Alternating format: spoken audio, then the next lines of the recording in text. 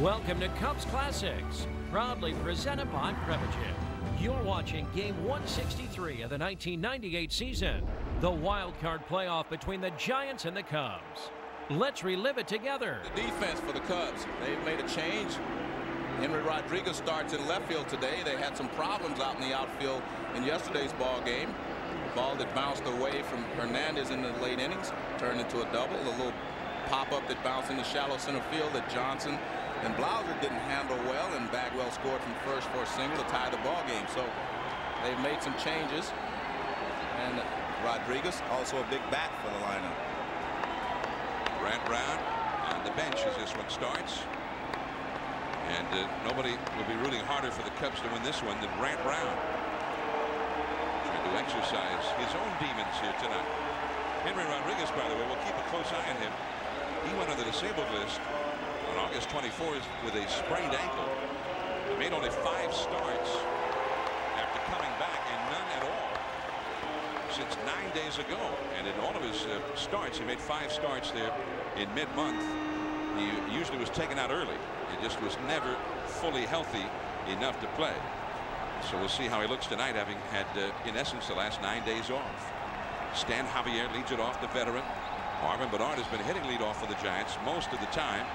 But uh, they're going with the stronger defense tonight. So Javier is in there. And plus, John, Javier is a very streaky hitter. And he's in one of his streaks night right now. He's been swinging the bat really well. Hit a couple of home runs in Colorado two days ago. Javier, 290 for the year. The Giants who have not done well against Trachsel and uh, Baker going with anybody who has done well against him, even close to doing well against him in the past, but also going with his experienced people. Well, he wanted a true center fielder in there as well because he has Joe Carter in right field. Nothing. Shallow left center. Lance Johnson. One away.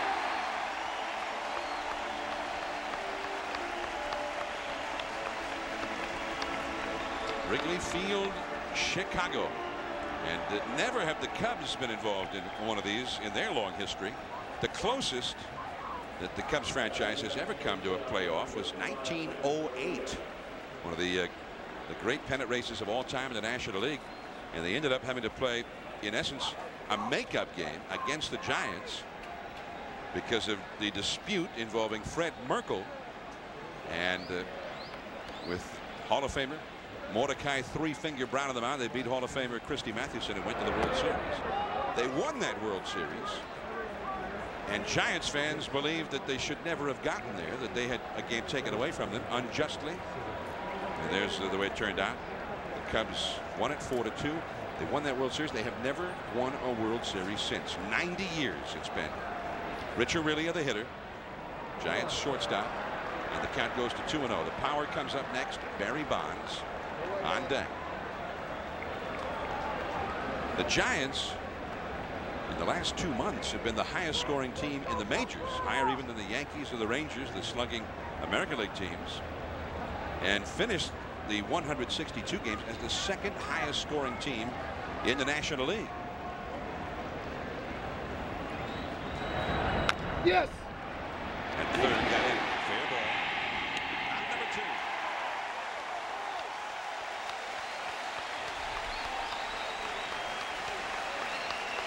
And now Barry Bonds. Tremendous year for Bonds. 37 homers. 121 runs batted in. 120 runs scored. Hitting over 300. Fourth in the league in slugging percentage. And Bonds had 88 extra base hits. Second in the league only behind McGwire, even ahead of Sosa. You added his doubles and triples to the home runs. Yeah. Fastball for strike. Well, the one thing the Giants and the Cubs both have in their favor tonight, they got Bruce Froemming behind the plate, a big game umpire and a veteran, which is what you want in this type of game. You've got the extra umpires for this one too, just like the postseason. A six-man crew is working. Yeah. Beauty. Outside corner, strike two call.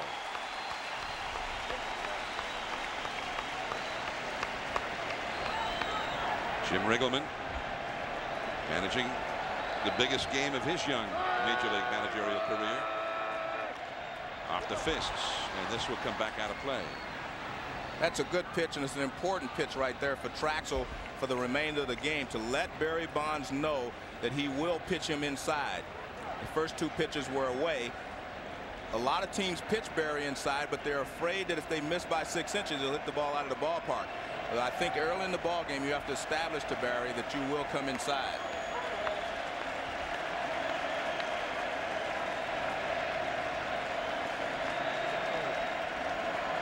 Now Bonds backs away. Bonds in 26 career at bats against Trachsel has one home run and only a 269 average against him. So Trachsel has done well with him. Well, most of the Giants have struggled against him. Only Charlie Hayes and Bonds have had any success. Hayes also hitting 269, but he has two home runs against Trachsel. One ball, two strikes. And they both have the same number at bats. They were both seven for 26 coming into this ball game. Jeff Kent would be next. Kent and Bonds, only the third pair of hitters ever to have 30 plus homers and 120 plus RBIs for the Giants in the same year in their 116 year history. One ball, two strikes to Bonds.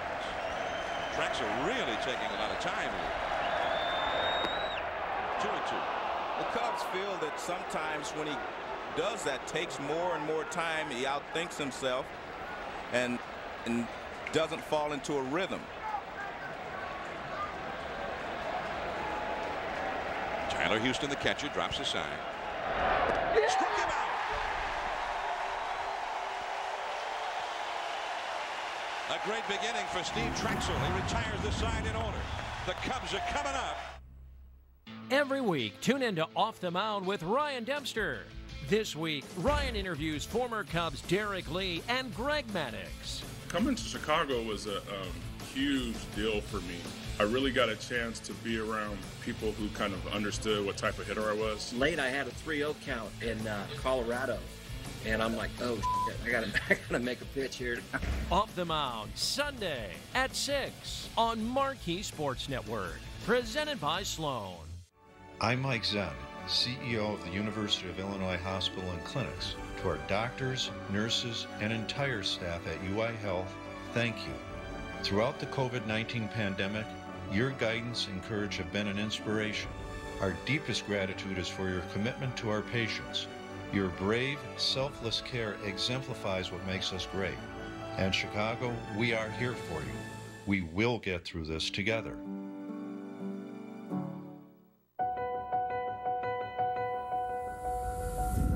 As we work to get through these times together, you may not be thinking about blood donation, but blood is needed to save the lives of people who are sick with a range of illnesses.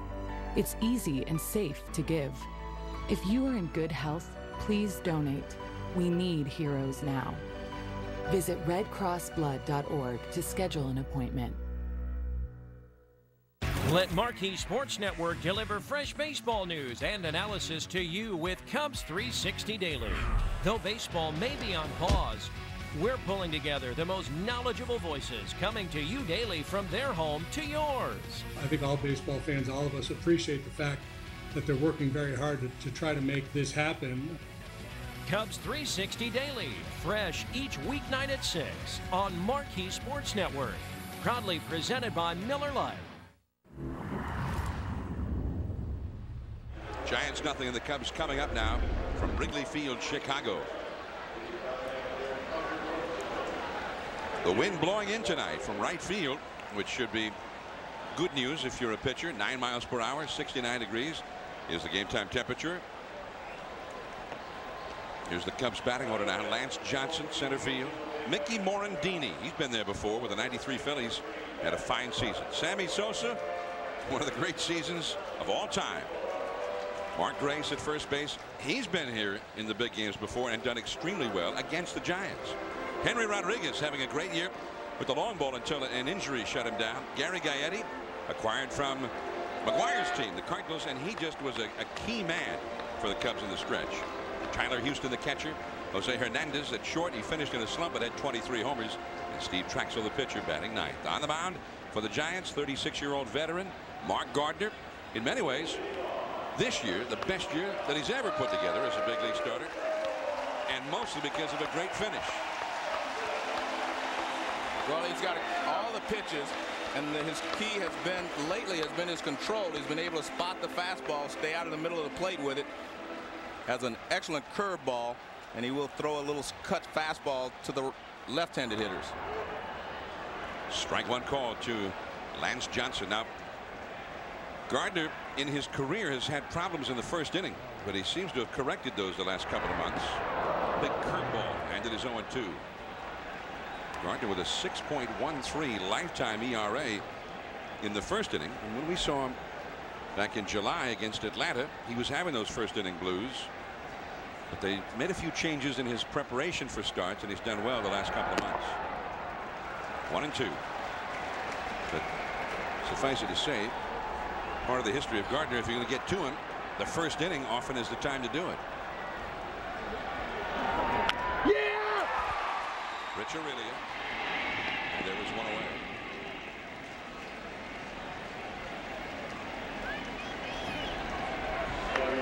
And let's take a look at the Giants defensively. Charlie Hayes gets the start tonight at third base. Bill Mueller has been starting over there most of the time, especially against right-handers. But as I mentioned, Charlie Hayes has had some success off of Trachsel, two home runs and 26 at bats. And he's a veteran. Here's Mickey Morandini now. He takes a called strike. Mickey Morandini, the veteran, 296 for the year, eight homers, 53 batted in. And the Cubs have been touting him for the gold glove at second base. They think he's been that good defensively. Certainly had an outstanding year with the bat. Curveball. One ball and two strikes on the foul ball. You know, over the years, Cubs, uh, Joe, we've always seen the Cubs would come in here with a bunch of guys who swing the bat aggressively and very few guys who get walks. Well, Mickey Morandini, 72 walks, excellent on base average. And they've got Mark Grace getting walks, and even Sammy Sosa getting a lot more. Go! Go!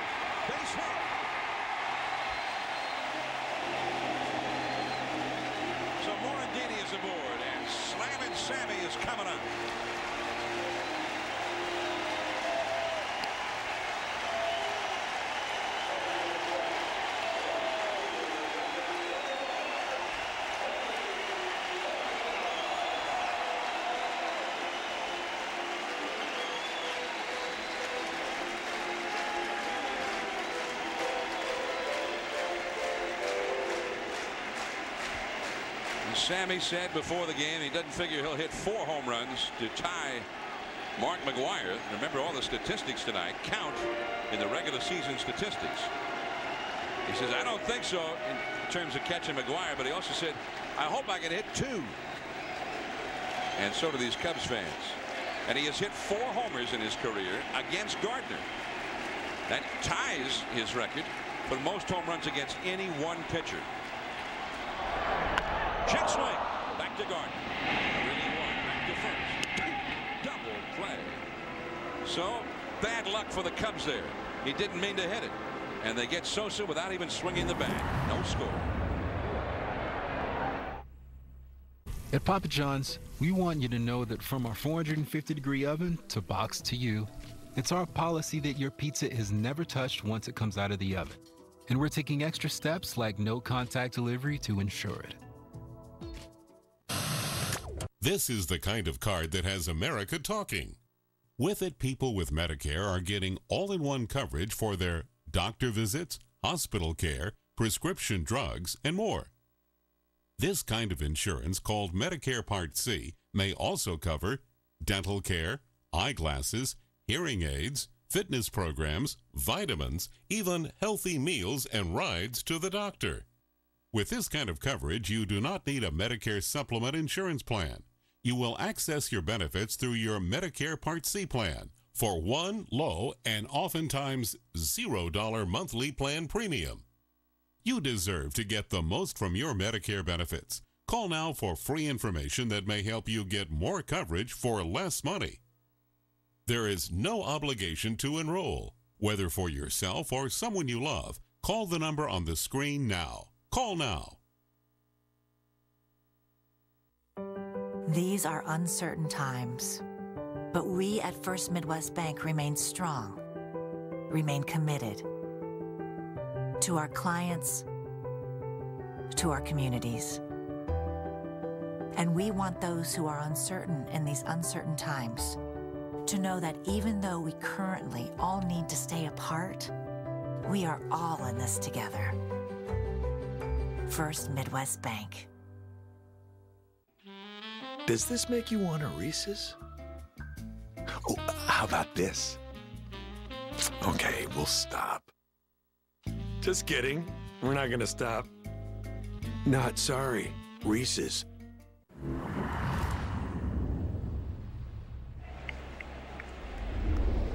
Jeff Kent, 299 average. He's never hit 300 in a season. 31 homers, a career record, 127 runs batted in. In fact, both the homers and RBIs career records.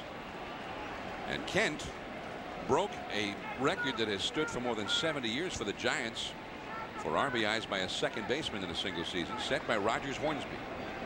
Besides Joe Morgan, the best hitting second baseman in history, most likely. Tell you what, anytime you break anything that says Rogers Hornsby in front of it, you've done a great job because he was a special, special hitter.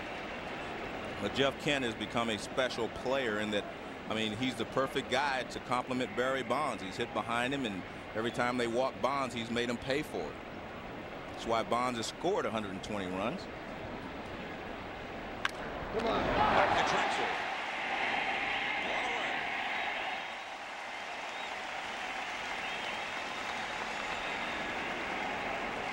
Here now, Joe Carter.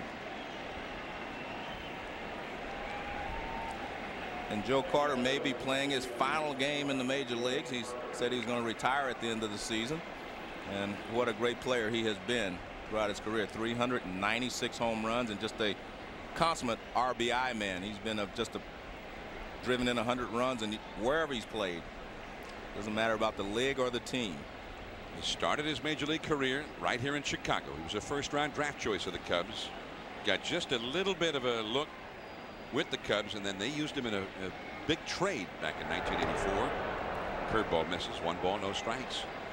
It was uh, Carter it was part of the deal with the Cleveland Indians that brought Rick Sutcliffe here. And of course Sutcliffe went 16 and 1 for the Cubs that year in the second half to help him go to the league championship series.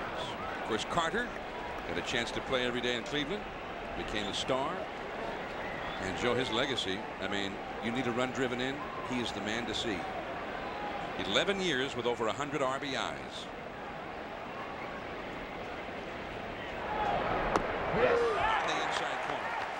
Two and one now. Joe Carter on Thursday in his uh, final home game with the Giants got several standing ovations at Candlestick Park yesterday in what he thought was his final regular season game. Standing ovation in Denver. Three and one. And in both ball games, he rose to the occasion and hit a home run. So Carter says, let's see, final home game homered. What I thought was the final regular season game, I homered. So I'm going to have to homer tonight at Wrigley Field. 18 homers all together this year as a part-time player with Baltimore and then with San Francisco. Sosa in right field. That one traveled pretty well. Two down. Well, Joe Carter hit that ball very hard to right field. Even though the wind's blowing in, it wasn't a high drive. It was more of a line drive. So he, he got the carry out of it.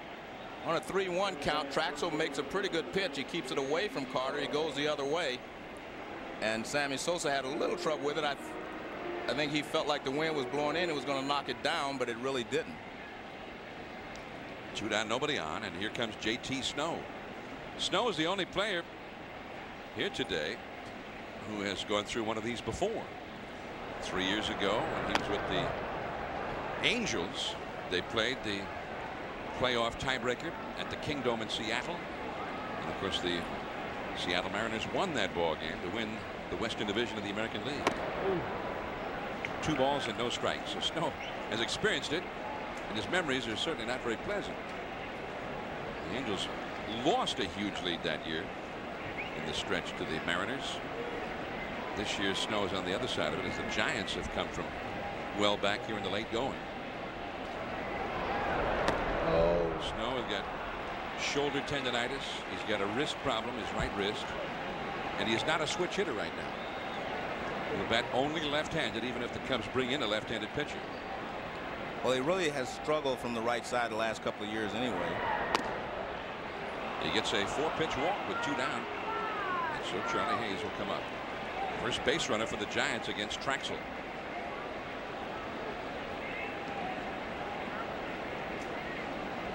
I have a feeling uh, she's a Cubs fan, Joe. Longtime Cub fan. She's seen a lot of good things happen here in Chicago and a lot of things that she'd rather forget. 1969 probably comes to mind first. She remembers Harry Caray, I'm sure, fondly. You see that character of Harry. As Dusty Baker said yesterday after the game in Denver, this is the only thing he is sure that Wrigley Field will be rocking. The only thing is he wished that Harry Caray was going to be there. He figured Harry would be there in spirit nonetheless. Here's Charlie Hayes. Part of the Giants' depth. Played third base, first base, been an excellent pinch hitter for them. Too far in with the fastball. One ball and no strikes. By the way, Charlie Hayes hails from Mississippi originally, and his family, his mom and dad, live in Mississippi. And of course, Mississippi is being threatened by Hurricane George. And Charlie has been unable to make contact with his family down there. He's very worried about them. And he asked us to, to mention if they're watching down there to please call Wrigley Field tonight so he can rest easy to know that they're all right. So the Hayes family down there give Wrigley Field a call.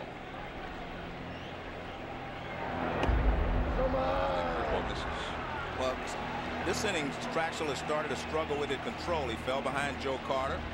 Carter hit the ball hard. And he's walked JT Snow. And this is what the Cubs are afraid of. If he starts to fall behind, he will definitely get in trouble. And the Giants are swinging the bat very well lately. They've been scoring a lot of runs. And this is not a team that you can throw a lot of 3 1 2 0 fastballs to and get away with it. 2 0 to Hayes. Snow at first. Good pitch on the outside edge. 2 and 1.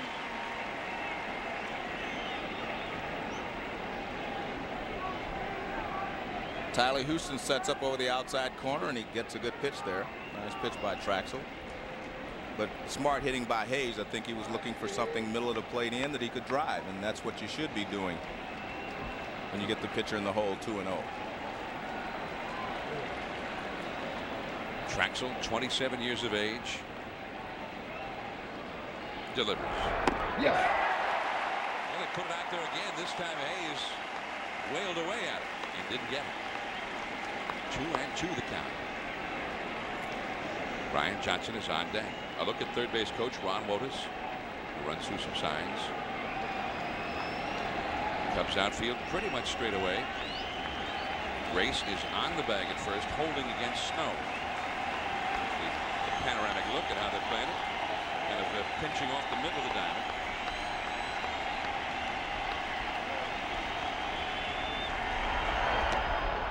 Three and two.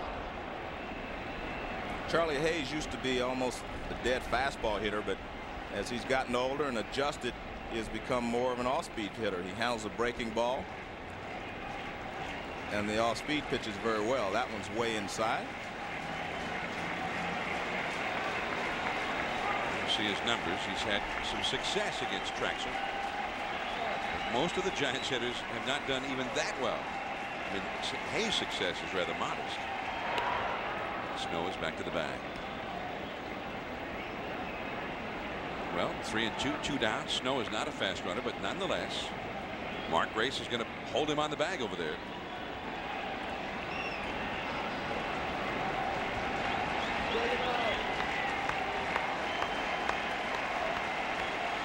Snow runs. Right field. Sosa. And that's the inning. One man left. Mark Grace, Henry Rodriguez, and Gary Gaetti coming up. No score. Your brain is an amazing thing. But as you get older, it naturally begins to change, causing a lack of sharpness or even trouble with recall. Thankfully, the breakthrough in Prevagen helps your brain and actually improves memory. The secret is an ingredient originally discovered in jellyfish. In clinical trials, Prevagen has been shown to improve short-term memory. Prevagen, healthier brain, better life. We got one of those new purple mattresses, and it is amazing. You have to try it. Oh, this doesn't feel like memory foam. No. This feels amazing. Right? What is it? Actually, it's called Purple, and it's a completely unique comfort technology, meticulously designed to cradle and support the human body. Cool. Spring into big savings with Purple's spring sale. Visit purple.com slash TV today. Tell us we can't, and we'll prove you wrong.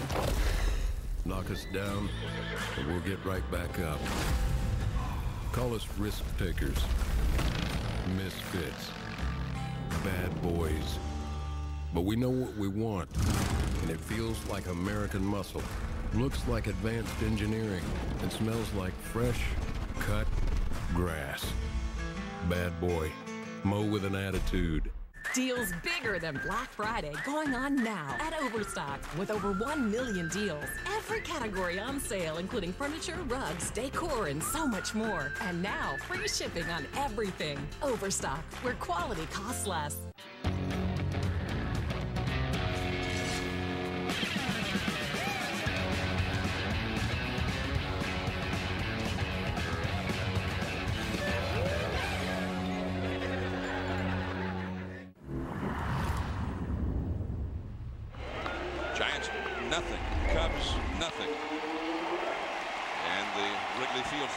Yeah. You know, hoping that they will not be disappointed. Mark Grace. A strike.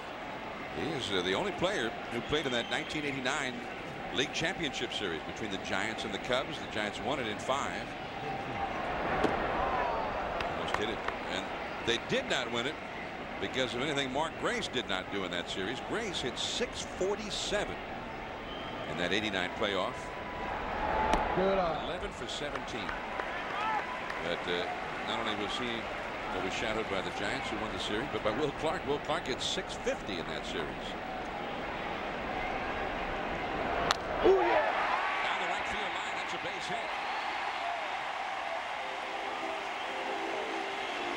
Neither one of these pitchers have a good enough fastball that they can throw it in the middle of the plate, especially when they get behind in the count. And he was behind two and one, and Grace sitting on a fastball. He gets the fastball and he rips it to right field.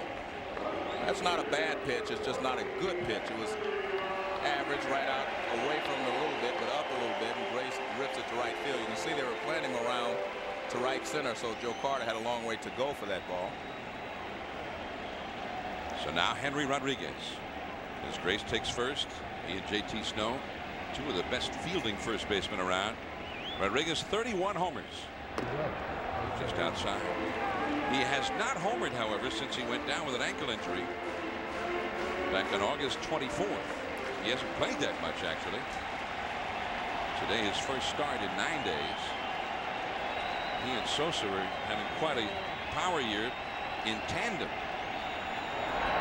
Outside. That's a strike on the outside. Perfectly placed. And that's what Gardner's been able to do. And if you look at Henry Rodriguez, you look at the 249 batting average, 31 home runs, 85 ribbies. That tells you that he really hits mistakes. You make mistakes against him and he will hurt you. But if you pitch to him and keep the ball down, change speeds, you can usually keep him in the ballpark. Outside. Yeah, good off the outside again. Well, back in August, he had a two-homer game against the Giants in San Francisco. Made a, quite a few mistakes against him. Hey, Harry Caray's everywhere.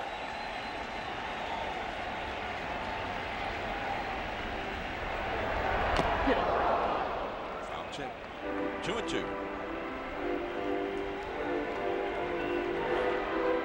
A combination of Rodriguez and Sammy Sosa hit 97 home runs for the Cubs, which all-time Cubs record for a pair of teammates. Of course, uh, Sosa hit most of those.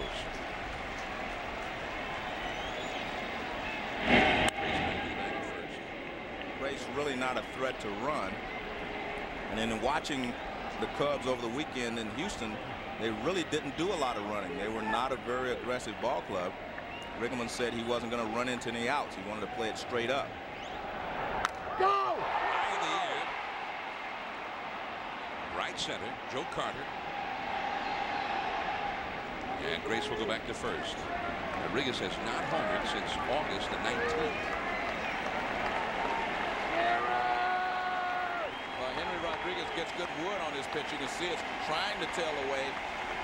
Gardner didn't get it out as far as he wanted. And Rodriguez upset that he missed it because that was a pretty good pitch to hit.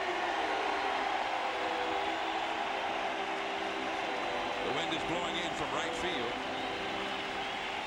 So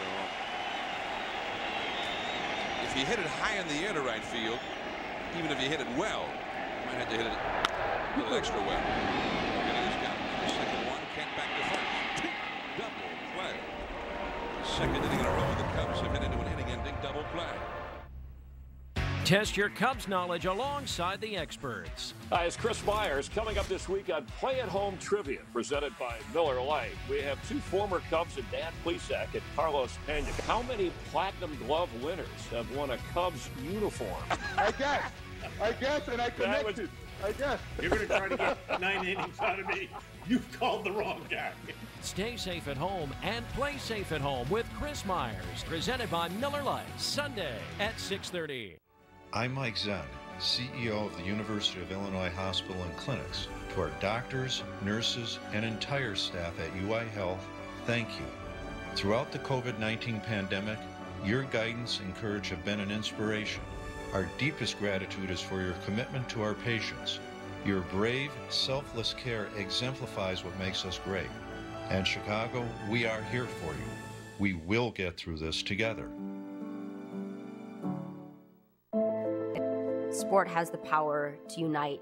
It has the power to build communities. It has the power to break down barriers and allow people to feel as though they're on equal footing with one another. We at Cubs Charities have the ability to do some critical work right now, utilizing the power that sports has in building community, in inspiring hope, and uniting a city. Get to know where to place your next bet on Follow the Money on Marquee Sports Network. Vegas veterans Mitch Moss and Paulie Howard host this hour-long show, share their knowledge of sports and gambling. The Cubs always take money, so it doesn't matter. Everyone would come to town and bet the Cubs to win the World Series, no matter who was on the team. Get the most up-to-date information in live odds, predictions, and betting trends from the sports gambling capital of the world. Follow the money live weekday mornings at 6 on Marquee Sports Network. Well, Dusty Baker said he wishes Harry could be here. He figured he would be in spirit. And uh, it feels like Harry's everywhere you look around Wrigley Field. The legendary former broadcaster of the Cubs. Kind of a sad year for some of our broadcast icons. We lost Harry Caray before the season started, and then during the summer we lost Jack Brickhouse, another Hall of Fame former voice of the Cubs. And both of those uh, former Cubs broadcasters commemorated this year on the Cubs uniforms. Here's Brian Johnson, the eighth place hitter for the Giants. Good pitch to hit there. Well, I like that. I, to me, the Giants have to be aggressive. They have to look for a first pitch fastball or look for a pitch in the zone and try to do something with it. The one thing the Giants do not want to do is go late into this ball game, fifth, sixth inning, one to nothing or tie ball game. You have to try to do something aggressively in the first few innings to take the crowd out of the ball game. When you're the road team, that's the toughest part. Well, so far, they've had a hard time even getting somebody on base. The only base runner allowed by Trachsel in the first two was a two-out walk to J.T. Snow in the second inning.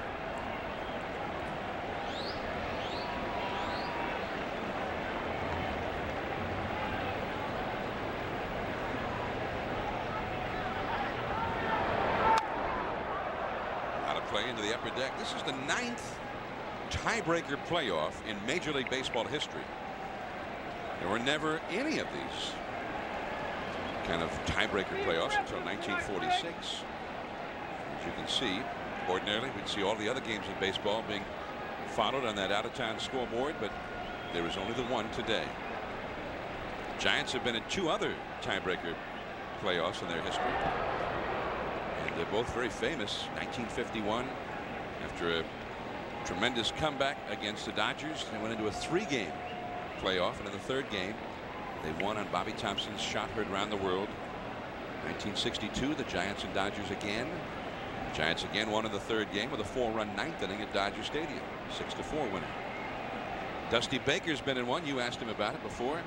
1980, the last National League tiebreaker playoff. The Dodgers and the Astros had a one-game set to, and the Astros beat Dusty's Dodgers in that one. Well, I was playing for the Astros that year, and uh, I was kind of the veteran on the ball club. So before the game, my advice to the players was to be aggressive. Let's go out, do something early, and take the crowd out of the game. He took me literally and just beat up on the Dodgers. Right field, Sosa going back. He's under it. In front of the wall. Now that's one that the wind did affect. He hit that ball really well, and the wind knocked that one down. Shoot one down. Gets good wood on it, good extension. And Sosa started back. It looked like the ball was going farther than it actually ended up, but you could see that the wind is starting to knock it down right about now, and Sosa's able to make the catch on the warning track. Two gone, uh, rather one gone, and Mark Gardner coming up.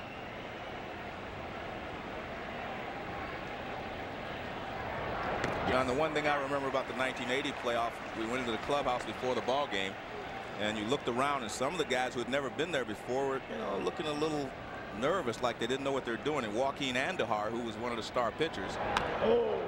stood up in the middle of the clubhouse. He said, for all you guys that are scared, you should have brought your Doberman with you. But it's too late now, so you got to go out and play.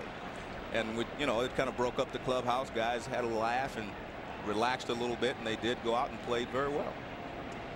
And it, it didn't hurt that Joe Niekro pitched pretty well. Well, the only problem is you had to use your best pitcher to get into the playoffs. You didn't have him ready for the first game of the you know, playoffs that year. And that was a great playoff series. The Astros and the Phillies best of five. The Phillies won it. Might have been the difference. Yeah, I think it, it definitely made a difference because we couldn't use him three games. Yeah. He's a little bit high. He was the best pitcher on the staff at that time. Two and two to Gardner. One out, nobody on. But the third inning. I also remember that we had lost three games in a row to the Dodgers. So the point is that what happened yesterday shouldn't have any bearing and can't. You have to say, hey, it's over and you start all over again. That's what these two teams have to do today. Yeah! Strike three. Second strikeout for Trachsel.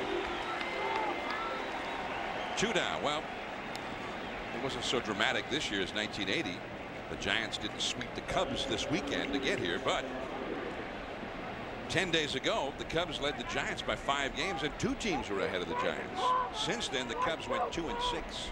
The Giants, eight and two. And that created the tie. The Mets lost their last five in a row.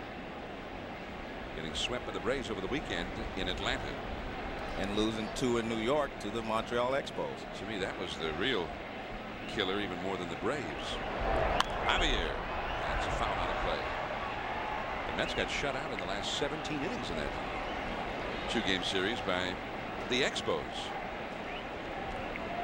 Tough weekend though in Atlanta. I mean you go in there and on Saturday Glavine starts a 20 game winner. He's relieved by Neagle a 16 game winner who in turn was relieved by Millwood a 17 game winner.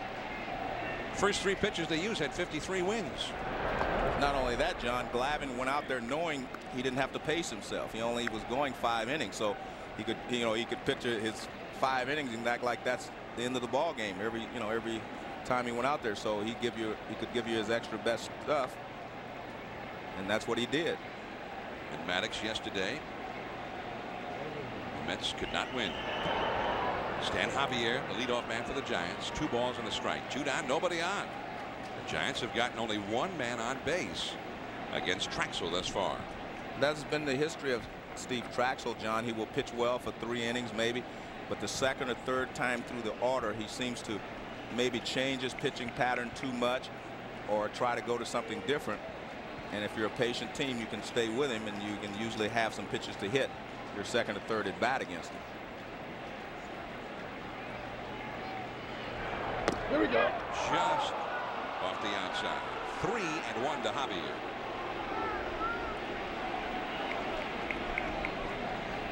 Rich Aurilia would be next. No score. We're in the third inning. Javier not known for his power, but he had a two home run game in Colorado the other day, and this is a 3 1 pitch that he can turn on if he gets a fastball. Too low. He gets the walk.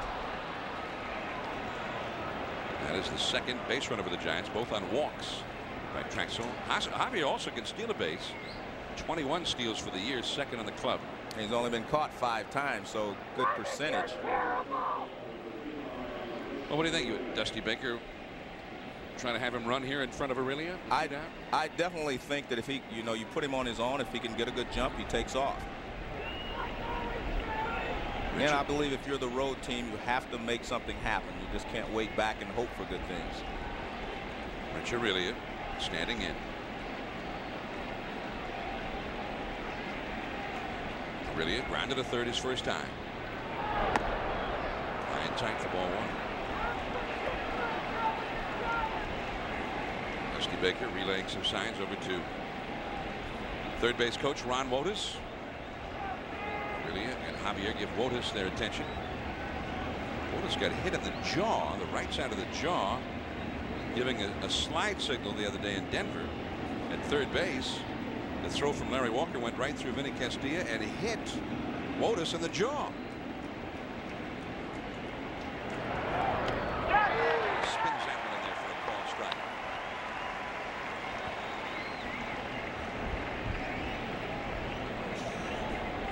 Aurilia backs away again, looking at Wotus. I mean, how many options could they have here with two down, Joe? Going through all these signs. Well, it's more habit than anything else.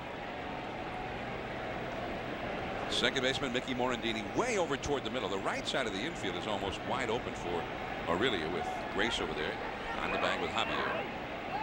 John, you want the hitter to look down at the third base coach, let him go through signs every time because you do not want him not to look down. You have to yell at him to give him a sign because everyone in the ballpark will know something's up. So that's why it's important that you look down there after every pitch.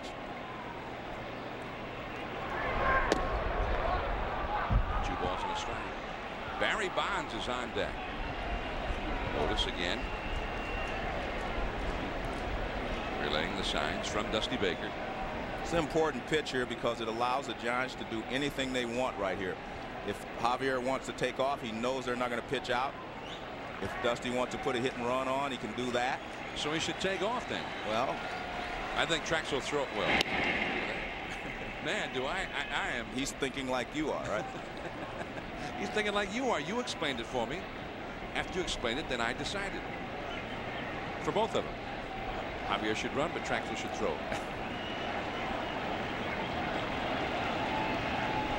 he is not running.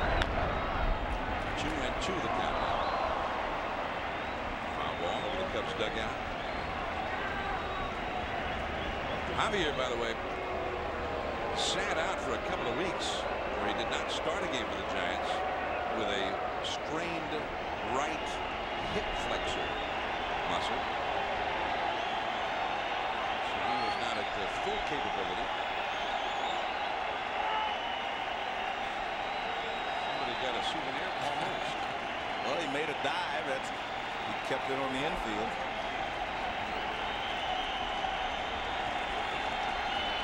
Kept it on the infield. There goes Javier. Strike three call. Javier's in there, but it doesn't matter. Aurilia has been called out on strikes. Bonds will have to wait an inning. Weather's perfect. Families all together. And we switch to Geico, save money on our boat insurance. How can it get any better than this? Dad, I just caught a goldfish. There's no goldfish in this lake. Whoa. It's pure gold. We're gonna be rich. We're gonna be rich! It only gets better when you switch and save with Geico.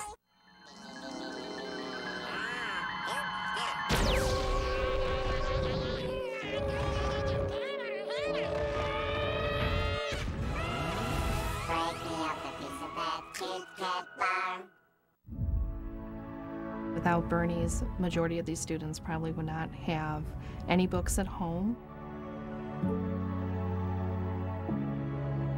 more that they're able to read and write and communicate with others, the more successful they're going to be getting a job, going to college, all those things we want for them in the future. Having a book in your hand and, you know, reading it and exploring is virtually impossible without Bernie's books. We used to be so stressed from all the demands on our time, but then our doctor prescribed us something that changed our lives. It's called sleep. It's like being awake, but you feel good.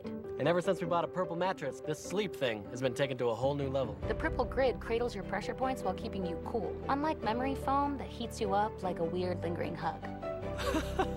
Try Purple today. If you're not 100% satisfied after 100 nights, you can return it for a full refund. Purple, the best thing since sleep. I had a husband who was my vision, but when he died, I knew I was in big trouble. At care.com, search for lots of local caregivers who can help with meals, housekeeping, personal care, and more. It costs less than you think, and it's easy to pay. Care.com. Giants nothing, Cubs nothing. Last of the third inning. John Miller, Joe Morgan here with you on the eve of the American and National League Divisional Series, which begin tomorrow in most cases. Nice to look out of the bleachers in front of that old-time hand-operated scoreboard at Wrigley Field. You like those things, don't you? I'm into it. Oh, okay. Everybody should have a hand-operated scoreboard. Oh. With all of the scores from out of town being posted at all times. It's in the handbook, Joe. Build a new stadium, need an out-of-town scoreboard. It's all right. I don't mind him punching the computer and throwing it up there very quickly. There's strike one to Tyler Houston. I think this is a very important inning for Gardner if he can get the Cubs out quickly because the Giants have Kent and Bonds coming up the next inning and he has struggled a little bit. He's been getting runners on but he's been able to get the ground ball to get out of the innings but it's important for him just to establish that he's in control of this ball game. Misses with a curveball there. One ball, two strikes to Tyler Houston. Jose Hernandez and Steve Trachsel will follow.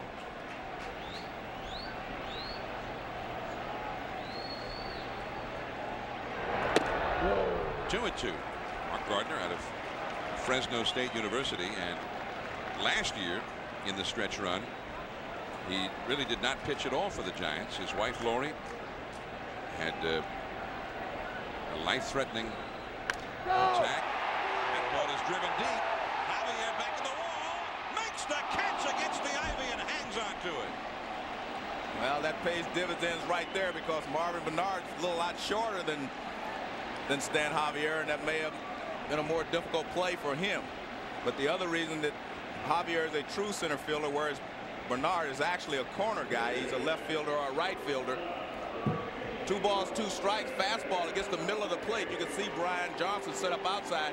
Now watch, Javier being taller than Marvin Benard. it's not as difficult to play, but a good play there by Stan. Jose Hernandez now. One ball, no strikes. Hernandez had 23 home runs for the Cubs this year. Finished the year in a slump, though. That's a called strike. One ball, one strike. But Gardner's wife, Lori, actually had a very complicated transplant surgery, liver transplant surgery. And uh, she survived and is doing very well. And uh, the Gardner family as a whole, we're glad to report, doing extremely well. And Mark Gardner, unlike last year, pitching down the stretch for the Giants and leading their staff. Yes. Three and one. The pitcher, Trachsel, is on deck. Hernandez finished the year in a horrible slump. His last uh, 84 at bats at only 155. But he gets a walk here. First walk allowed by Gardner. Steve Trachsel. His is where the defense at first base of Jack Snows comes into play, John, because as a pitcher, he'll be trying to bunt the ball to first base, and JT is very good at coming in and getting the lead runner on a bunt. JT. Yeah. Well, father Jack, named after his father. Giving Jack Snow a little publicity yeah. there. Yeah. Wide receiver, former wide receiver for the Rams. He's a broadcaster now. Yeah, for the Rams. That's a bunt. becomes the first runner of this game to get the scoring position. Excellent bunt there by Steve Trachsel. And a lot of times pitchers aren't able to get that bunt down and help themselves. Excellent bunt. He just lays the bat out there, catches the ball on the barrel of the bat, and guides it to first base. Good job. John Lance Johnson, one of the smallest players stature-wise in the major leagues, not very big boned or anything, uses a 40-ounce bat. That's what he swings. Curveball for a strike. In this day and age when most players are using 31s, 32s, he's up to 40 ounces. Like the Babe, Babe Ruth and the guys used to swing those. Willie Stargell, Clemente used the real heavy bats. 0 on the count. Fastball 0 2. Well, Lance Johnson, when we were here eight days ago on Sammy Sosa Day, Sammy did not hit a home run, but Lance Johnson did. Finished with two home runs in 300. Well, he's not finished yet. He's got two and 300 at bats right now. Curveball.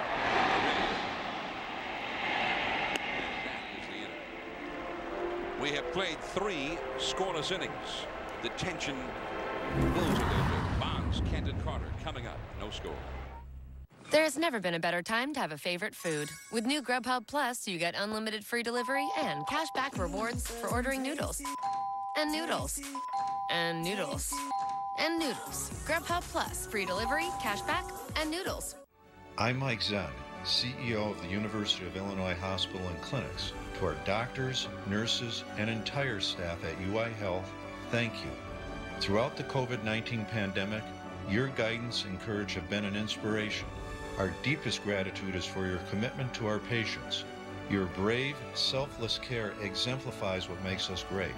And Chicago, we are here for you. We will get through this together. Do you have concerns about mild memory loss related to aging? Prevagen is the number one pharmacist recommended memory support brand. You can find it in the vitamin aisle in stores everywhere. Prevagen, healthier brain, better life.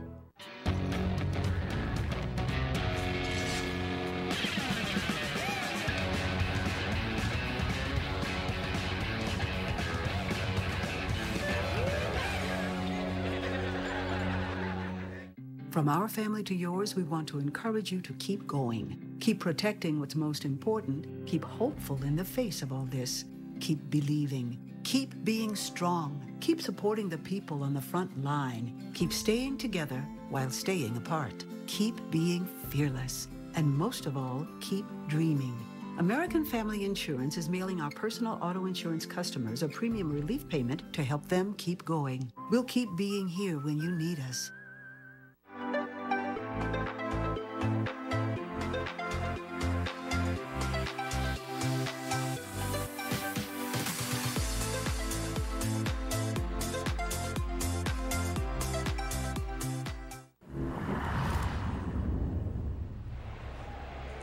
Well, this place was just a raucous and loud as the game was beginning, Joe, but right now a little more tense as Barry Bonds strides to the plate. And let's take a look at how he pitched Bonds in the first inning. I said the fastball right there was very important because he ends up throwing him a changeup down and away. And because Bonds has to be aware of the inside pitch, he can't go out over the plate looking for the off-speed pitch. Even though he knows that's what Trachsel's going to try to do. But if you come inside on a hitter and make him inside conscious, it opens up the outside for you. But Bonds makes adjustments too. That is foul. Got the breaking ball up and in and shot it foul. Bonds, uh, as you saw, hit over 400 in September, or has up till now, seven homers and 21 RBIs in the month. Both he and Kent have driven in more than a run per game since the end of July.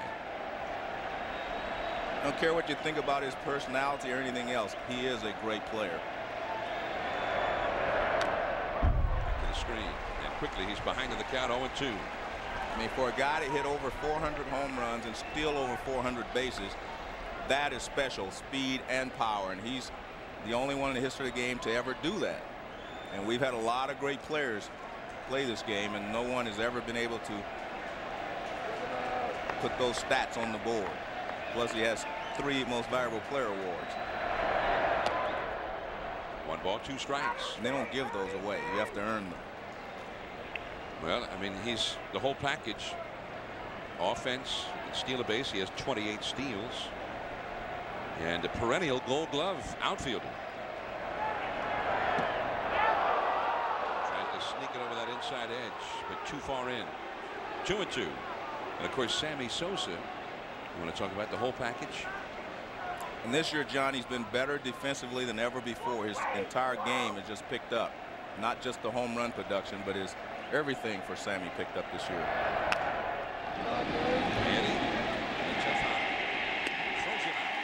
You see what Trachsel is doing. He is just continuing to make Bonds aware of the inside corner, yet he's getting him out away. The pitch before he came inside hard. Now look at this. He goes back away, tailing away. Nothing Bonds can do with it because you have to protect the inside and he goes away. All you can do is swing with your arms. Look at that. All Bonds can do is go the other way and not much of a threat there. So he's keeping Barry off balance just with the inside pitch. Jeff Kent 63 RBIs in the last 54 games for Kent. Back out of play. He not only broke Rogers Hornsby's franchise record for RBIs in a season by a second baseman. He missed 24 consecutive games on the disabled list and was able to do that. Joe, you always have these these people stopping by to see you. Well, I've made some good friends over the years. The uh, we saw Michael Jordan. He threw out the first ball. Joe's close personal friend, and now the Reverend Jesse Jackson just came by. Another close personal friend. Trachsel. It's a strike. Kent tried to check, and it's 0 2. This must be a big game. It must be a big game. You're right.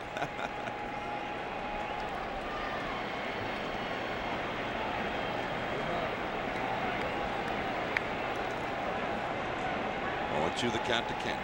Joe Carter on deck. Right there. Yeah. Just off the outside with a, with a curveball, and it is one and two. The, the way Trachsel's pitching right now, John, is surprising that he pitched poorly in his last five starts. He's not missing into the middle of the plate. Anytime he misses with his pitches, you know, they're unhittable. They're off the plate outside or inside.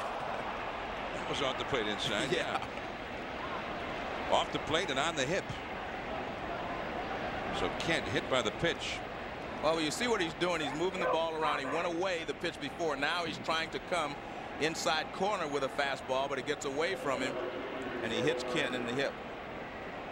But that's what he's doing so well so far tonight. He's moving the ball in, out, and changing speeds.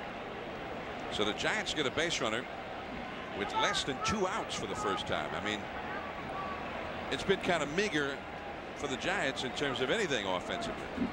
Joe Carter now lined one hard to right field his first time. He's 0 for 1. He fell behind Carter, and Carter really hit a fastball hard.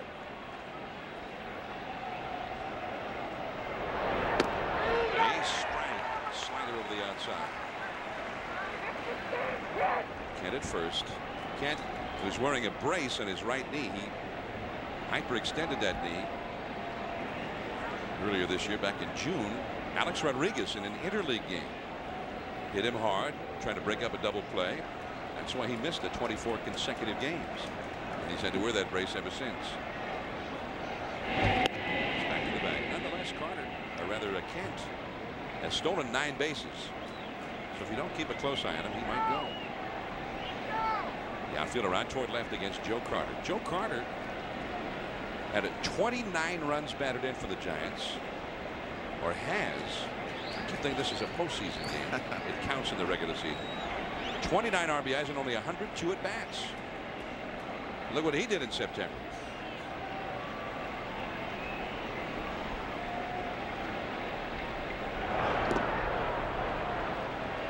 One ball, one strike to Carter. Joe Carter, the only man in World Series history to hit a home run to end the World Series when his team was trailing at the moment that he hit it. Bill Mazeroski, Bill Mazeroski hit one, but they were tied with the Yankees. These are the only two to win the World Series with a home run, and Carter's the only one with his team behind, and will forever be remembered for that.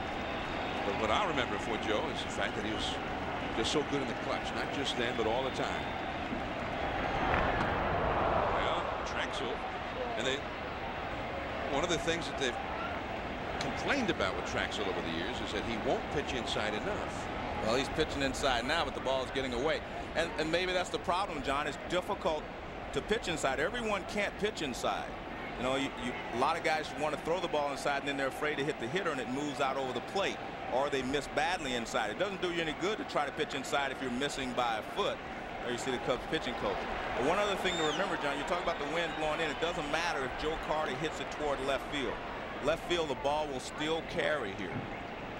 The only place that the wind will knock the ball down is in right field. But again, a lot of pitchers just cannot pitch inside consistently. Well, he had Kent in a hole at two strikes, and he hit it. He almost hit Carter. It's two and one now to Carter. Two and two. Carter lunging for a breaking ball. Two balls, two strikes. Fourth inning, no score. Ron Wotus again flashing some signs to Carter. The only Giant who's been able to actually pull the ball so far. Rich Aurilia in the first inning hit a ground ball to third. Everybody else, when they've hit the ball, have hit it the other way. As you mentioned, Joe, you pointed it out a couple of times. Because Tapani has him thinking about that inside pitch. Deep down the field line, hooking into the corner. This one is foul. That pitch was up a little bit. That was a screamer. Pitch is up and over the middle of the plate. But Joe Carter is pretty much a hands hitter. And every once in a while, he just rolls that top hand and he pulls a lot of balls foul. 355 feet to the foul pole in left field. 353 to the right field foul pole, but the power alley is much shallower than, than most. Two and two to Carter. JT Snow on deck.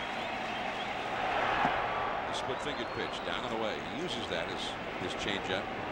Full count, three and two. Well, we'll see if Dusty Baker wants to send Jeff Kent in this situation. Carter and everyone's taking a look. Well, I'm taking my cue from you, Joe, so I think he's running. Well, base runners are 8 for 16, which is, you know, 50-50 chance against Steve Trachsel. Again, I believe if you're the road team, you have to be aggressive. You have to be more aggressive. So I say yes, he should be going as well. But Dusty Baker's the manager. He's gotten them to the playoffs. Man, you didn't do that. He's running. And a check swing by Carter. Ball four. So Kent to second, Carter to first. On the walk, the Giants have two men on for the first time. And yet they do not yet have a hit against Trachsel. Houston out there to talk to Trachsel. Remember, this started when he had Kent in a hole. He had him one ball and two strikes, and then he hit him trying to go inside. And that's after pitching so well to Barry Bonds. JT Snow. This has been uh, a year where JT's emotions have been torn. His mother, after a courageous battle with cancer, passed away. And uh, JT, for a long time, had his attentions elsewhere. He's had some injury problems as well. But nonetheless has put up 15 homers and 79 runs batted in.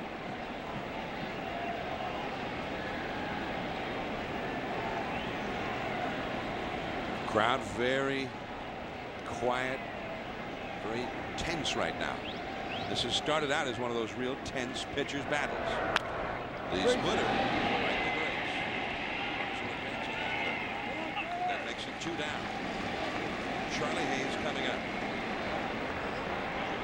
Third, Carter to second. A little surprised that Grace was playing that deep because he got the ground ball and didn't have a chance to, you know, to go for the double play. Normally, in a double play situation, you play shallow enough that you can, you know, start a double play. Because in the, that situation, you have to give up something, some range to get something, trying to get the double play to get out of the inning. So is that, I mean, it's like you say, you were there yesterday, and Jim Riggleman is trying to play it real close to the vest. He's trying really not to take chances. Well, that that's what it appears to me, but I mean, it's his call, right? Yeah, you got the ground ball, and you didn't even have a chance to get the lead runner. Wasn't even an option. Here's Charlie Hayes. Pitch up, out over the plate, but back to the screen. It's 0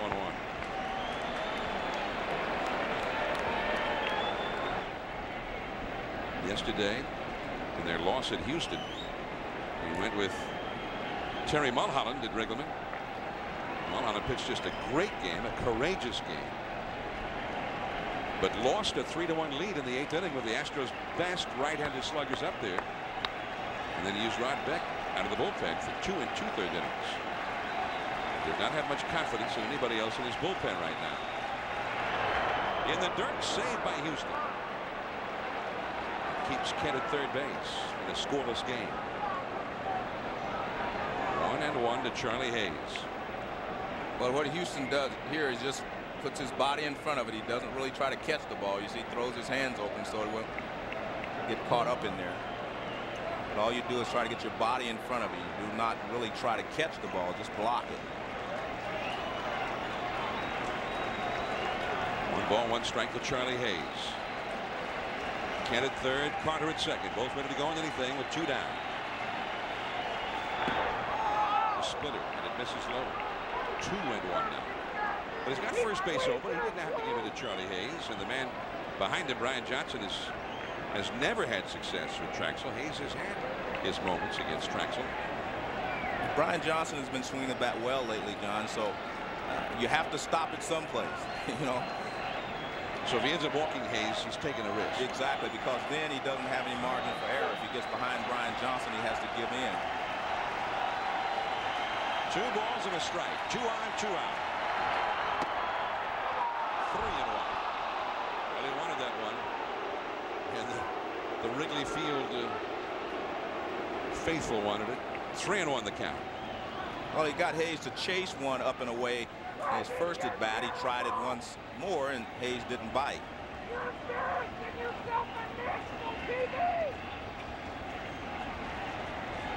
Nothing to nothing. The Giants do not yet have a hit against Steve Trachsel. This will be the 22nd pitch of this inning for Trachsel. Yeah. The splitter. Strike two. Well, you you like a guy to want to hit in this situation, but you do not want him to chase pitches out of the strike zone like that. And as one, the 40,000 plus at Wrigley Field rising to their feet with two strikes and two out. Two on for the Giants.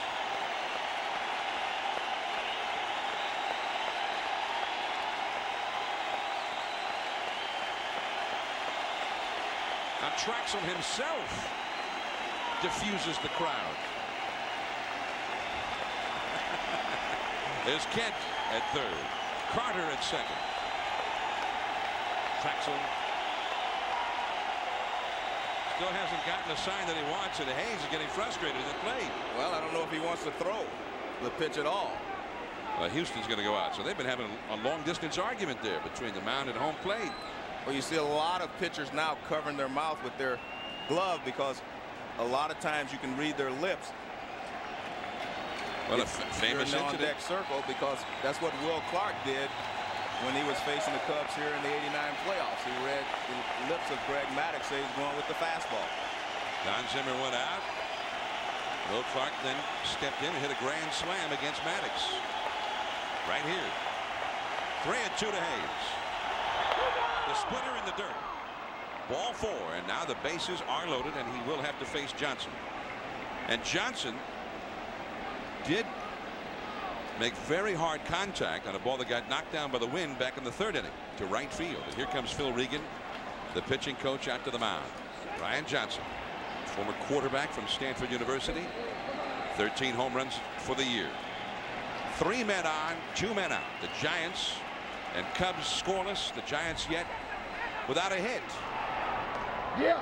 Starts him with a curve. And that's one. And that's okay. If you're Brian Johnson, say, okay, I give him that. But if he misses with that pitch, then you've got two pitches to play with. So you, what you do as a hitter is put yourself in the best possible hitting situation you can get. And I believe that was sitting there looking for a fastball on the first pitch. So give Trachsel credit, just a great pitch. Yeah, it's only one strike. He so executed. What? Kent at third, Carter at second, Hayes at first, as you saw. Two down. Yes. Up too high, one strike. Uh, I guess was a split-fingered pitch, but it didn't, I, didn't I get think, it where he wanted it. I really think he tried to throw another curveball, Johnny. Just threw it too hard. I think he tried to come with the same pitch and threw it too hard. One ball, one strike to Brian Johnson. And uh, yeah, it's nail biting time here at Wrigley in the fourth inning. In the dirt. See now, if I'm Brian Johnson, I'm back in that same situation. I'm sitting dead red here, looking for another fastball that I can drive someplace. If he throws me a curveball and he throws a strike, so what? He's, he's got to do it again. So it's real risky now to throw anything but exactly. So you've got to sit there and say, I'm going to look for a fastball. So he's not thrown one yet to Johnson in this at bat. But you can't chase it out of the strike zone. You just have to sit and say, I'm going to look for a fastball right in a certain zone. Kent, Carter, and Hayes, the three runners. Two down, fourth inning now. Again, with Trachsel taking an extreme amount of time. I mean, he and Houston act like they've never even met each other. I mean, whatever Houston's calling for, Trachsel never seems to want to throw it. Two and one the count. Yeah. Well, he set on the fastball, looked like a little up a little bit, but at least he was aggressive. He got the pitch he wanted. He just didn't hit it. Cubs fans rise to their feet all around Wrigley Field again. Two balls, two strikes, two down, and three men on. Well, now, if you're Brian Johnson, you just have to hit the ball. See the ball, hit the ball. You can't really sit there and say, I'm going to sit dead fastball or look for a splitter. So he you can have to that, see the ball. He could try to split it out. Right. You have to see the ball and go after it. The curve, strike three call. The Giants leave the bases loaded. Trachsel laboring through 29 pitches. Got through. Sosa coming up.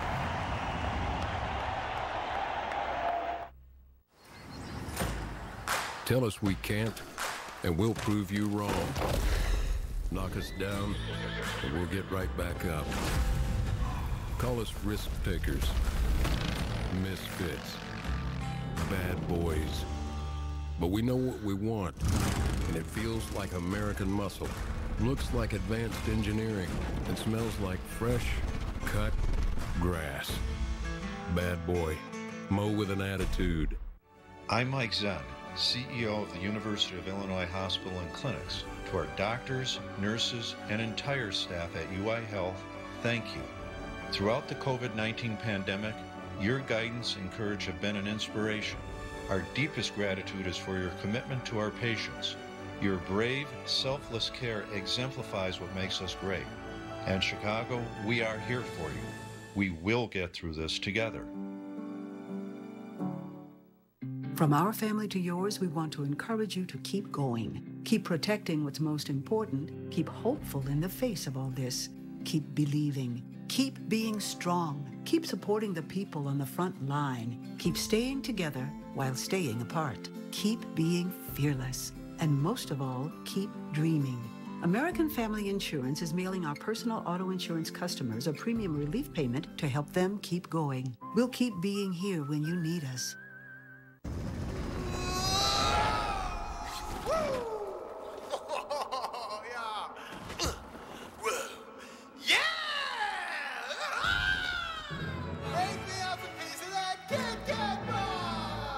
Home is more important than ever. At Overstock, we're committed to delivering on all your home needs. Starting now, everything ships for free. Big or small, Overstock, where quality costs less and everything ships free. In the friendly confines of Wrigley Field, the wild card berth at stake. No score yet. There's a high fastball that he got, but it was out of the strike zone. And then Trachsel just makes a great pitch. But when you get two strikes on you, you can no longer look for a pitch. You have to see the ball and go after it. But he made a good pitch. Now Gardner to Morandini, who singled his first time, and a curveball for a strike. Gardner sat a good long while there while Trachsel not only threw a lot of pitches, but took uh, interminable lengths of time between pitches. Sammy Sosa is on deck. This is an important part here again for Mark Gardner. If he can go one, two, three, and get him right back out there for Trachsel, make Trachsel go right back to work, then without having him sit there and be able to relax for a while, everything will work in the Giants' favor. Trachsel hoping for a little time off now. Two strikes to Morandini. Sammy Sosa on deck, then Mark Grace. So they'd like to see Morandini get aboard here in front of the big guys. This is the guy who's been getting it done all year long. Sammy Sosa. Curve misses. Sammy Sosa, surely the MVP in the National League. Well, if I had a vote, I would give it to him. Although there have been a lot of great seasons this year in the National League. Greg Vaughn in San Diego, Lou and Bagwell and Biggio and Bell in Houston. Outside.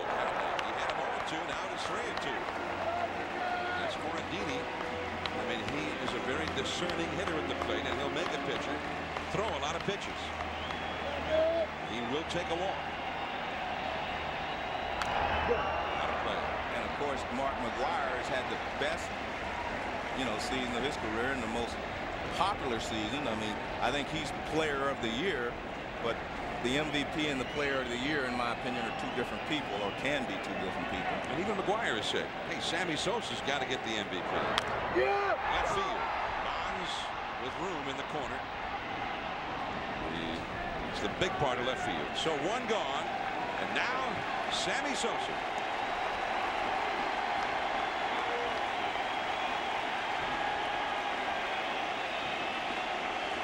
It hasn't been the custom with McGwire and Sosa.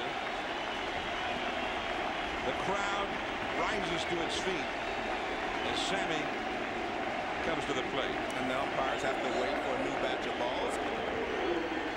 You know, talking to Billy Williams a week or so ago, he said the big difference in Sammy Sosa this year, one of the things he did, he moved off the plate and lowered his hands. He used to have his hands up real high. He moved off the plate, lowered his hands, and he thinks that gives him a better view of the play, of the pitch. He can read the pitch better the inside pitch. He used to chase a lot of pitches out of the strike zone. He doesn't do that nearly as much now. And it's 2 0.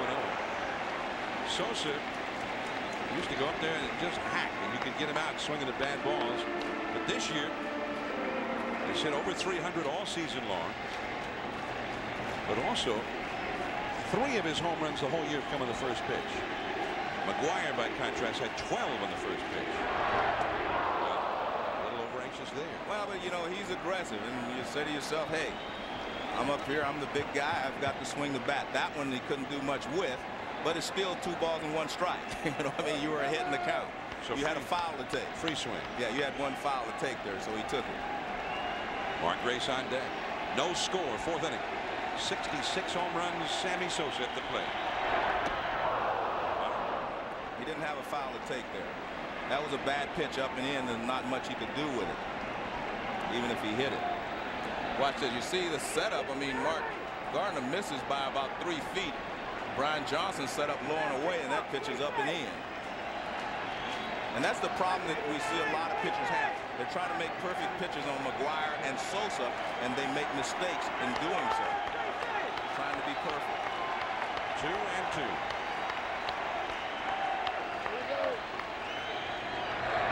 The curve for the strikeout. And suddenly, silence at Wrigley Field. Mighty Casey has struck out. Slam in center. because, I mean, all the air went out of this place then. I mean, it was incredible. From this uh, cacophony of sound is silence, just like that. Well, that's a beautiful pitch. I mean, that curveball just disappeared. It looked like it was going to be a pretty good pitch to hit, but all of a sudden, well, the bottom fell out of it. Well, Gardner's got a great curveball, and that was as good as you'll see. And that was his first strikeout. Good time to get it.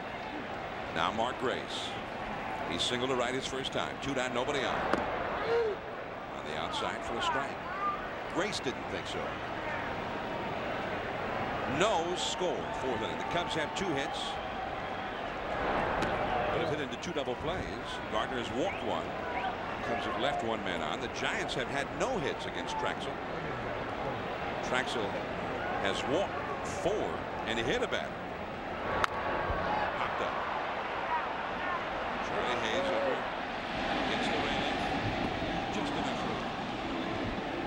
Well, he did retire the side in order. And Trachsel's got to get right back out there. Gardner, Javier, and Aurilia coming up. No score.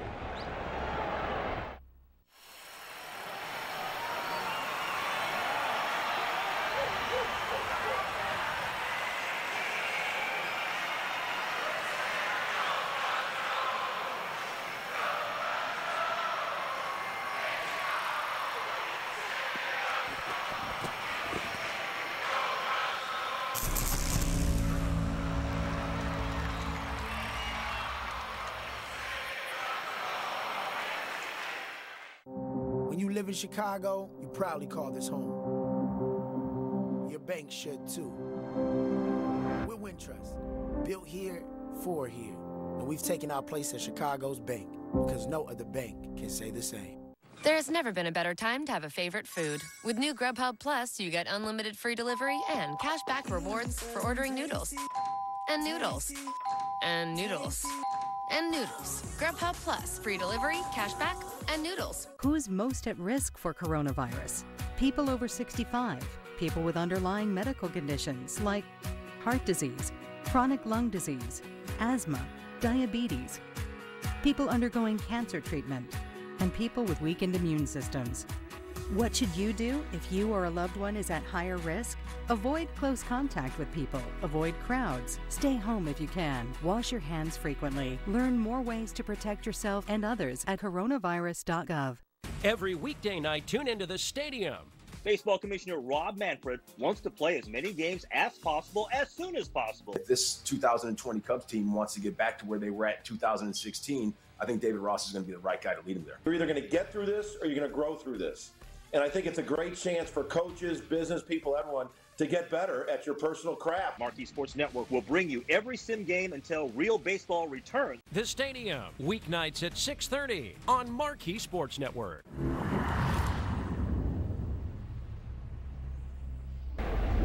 Giants nothing, Cubs nothing. Darkness has long since settled in over Chicago. One team will go home for a long winter's rest, and one oh, will yeah. Good, head to? Atlanta Good luck to you. after this game. And uh, we have gone real far from deciding anything up till now. No score, fifth inning. The Giants have had the game's only serious threat, getting the bases loaded in the fourth. Mark Gardner against his counterpart, Steve Trachsel, and there is ball one. Trachsel in his previous start in Milwaukee last Wednesday was breezing along. He had a seven to nothing lead and a shutout for six innings. But then the Brewers scored four runs in the seventh against him, knocking him from the box in a game that finally the Cubs lost on the drop fly ball by Brant Brown eight to seven. That was a, a crusher. Fouled away by Gardner. One ball, two strikes. We all know that Brant Brown dropped that ball that day, John. But one other thing that happened in the ninth inning is that Jim Riggleman chose to walk Larry Burnett, Burnitz and put the winning run on base. And that was the run that scored when Brown dropped the ball. Uh, Jeromy Burnitz scored all the way from first, running hard. And, you know, a lot of people say, well, it was the right thing to do, and it, it probably is. But there are reasons that you don't put the winning run on base a lot of times because things can't happen. There we go. Strike three call. So Gardner struck out twice. One gone for San Francisco in the fifth. And leadoff man Stan Javier coming up. Well, Trachsel has made some excellent pitches, especially with two strikes. He's been able to spot that fastball on the outside corner, as he does here with Gardner, and he's also been able to throw the curveball on the outside corner. So he has been able to make big pitches when he's needed them. You can see the difference in the pitchers, though. Trachsel throwing a lot more pitches than Gardner has. Quite a few more. Trachsel threw 29 pitches in that fourth inning. But he got through it. The Giants have not scored and they do not have a hit against him. Javier has flied out and walked. And that's ball one to Stan Javier. Veteran, excellent outfielder, can steal a base. Ended up being the Giants regular right fielder for the second half of last season.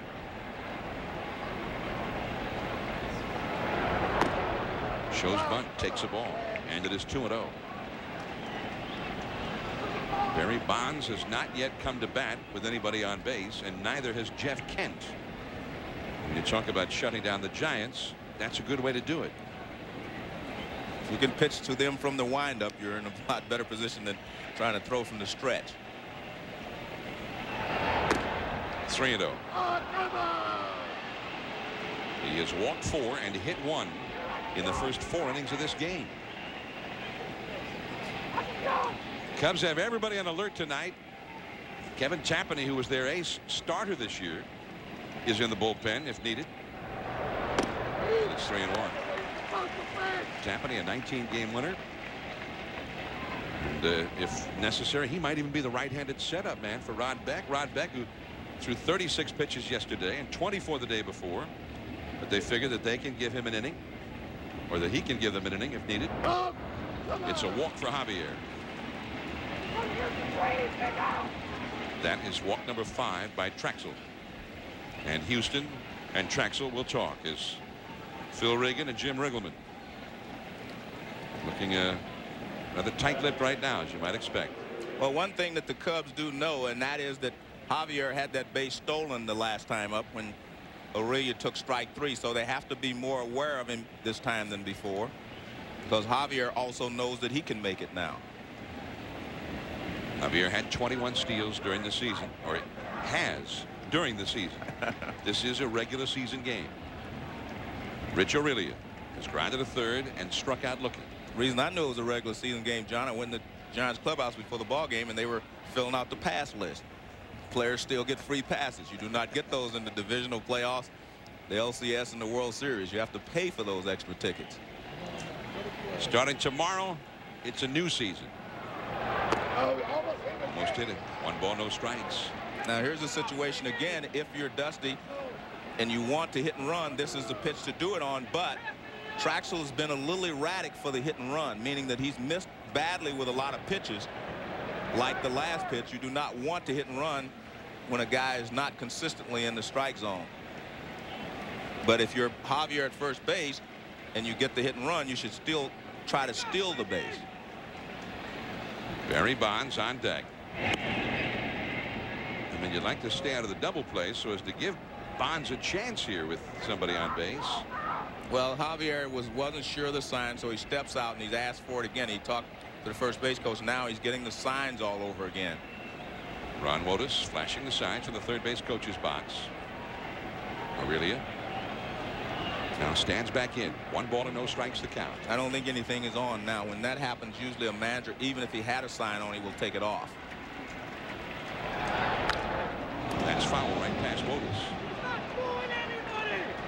One ball, one strike. The stands at Wrigley Field out very close to the field, especially in the corners. One ball, one strike to count. There's the, the panoramic look. This old ballpark. Cubs moved in here 1916. It was built actually for a, another league, a third major league that was in existence only a couple of years, the Federal League. So, Joe, this is actually the last Federal League ballpark in existence. And the oldest in the National League. And we hope that uh, 50 years from now we can still say the same thing. because it's a great place to come. But the fans here, we usually refer to this as the friendly confines, are on edge right now. No score, fifth inning. Okay. It's high and foul and will go out of play on the third base side. One ball and two strike. The wind blowing in from right and blew that one all the way back into the upper deck. Sometimes, as a manager, you think about a couple of things in this situation. First, you say, well, I've got Javier at first, but if Aurilia doesn't hit in a double play, Barry Bonds is going to be able to hit in this inning. If I get Javier thrown out trying to steal or hit and run and he swings and misses, Barry has to lead off the next inning, and you want Barry to hit with runners on if you can. So, so that, I mean, that's something you think about. I still think that you have to be aggressive, but you know, those are things you have to think about. In the dirt and blocked by Houston. But Javier was not going anywhere. Two balls, two strikes. One out, one on. Well, this is the count that Javier took off on back in the third inning and actually had it stolen but the pitch had been called strike three to Aurilia. So are you predicting he's going again? I'm just for the Oh. benefit of our viewers Joe Okay. so that they might make an informed prediction pointing that out. All right. And he's got he's running. two and two the count. Aurilia backing away is again Trachsel and Houston are uh, having a, a pitch calling debating society here. Trachsel has not given up a hit. Javier is back. Well, Jim Riggleman remembers that Javier ran in this count the last time. And surely he asked uh, well uh, Trachsel to make that throw. Aurilia steps out again and looks down at Wotus and says, well, is he running or not? And Aurilia really steps out. I mean, he stepped halfway over to the fungo circle that time. two and two the count.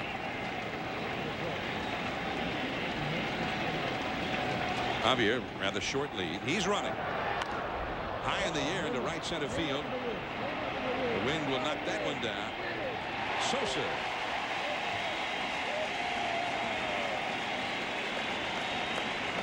Two down and Barry Bonds coming up. Well, we've seen how Trachsel has pitched Barry the first couple of times up.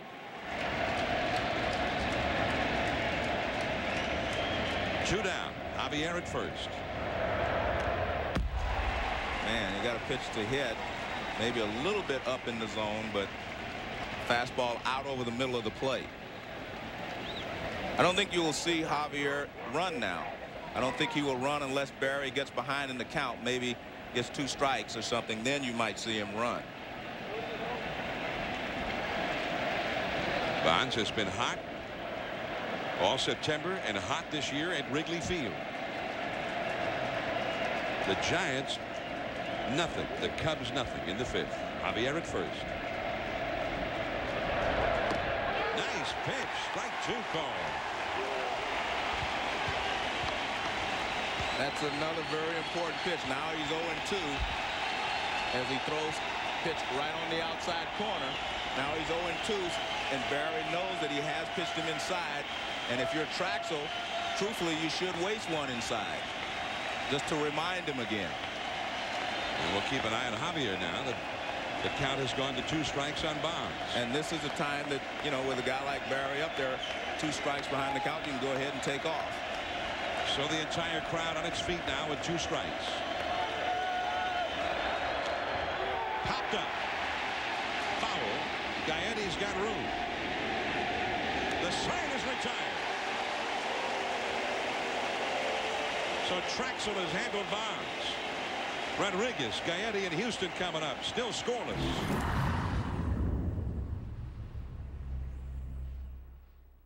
From our family to yours, we want to encourage you to keep going. Keep protecting what's most important. Keep hopeful in the face of all this.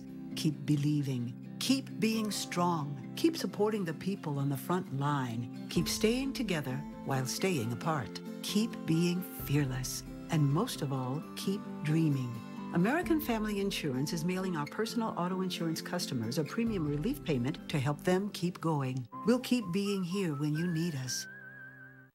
I'm Mike Zenn, CEO of the University of Illinois Hospital and Clinics. To our doctors, nurses, and entire staff at UI Health, thank you.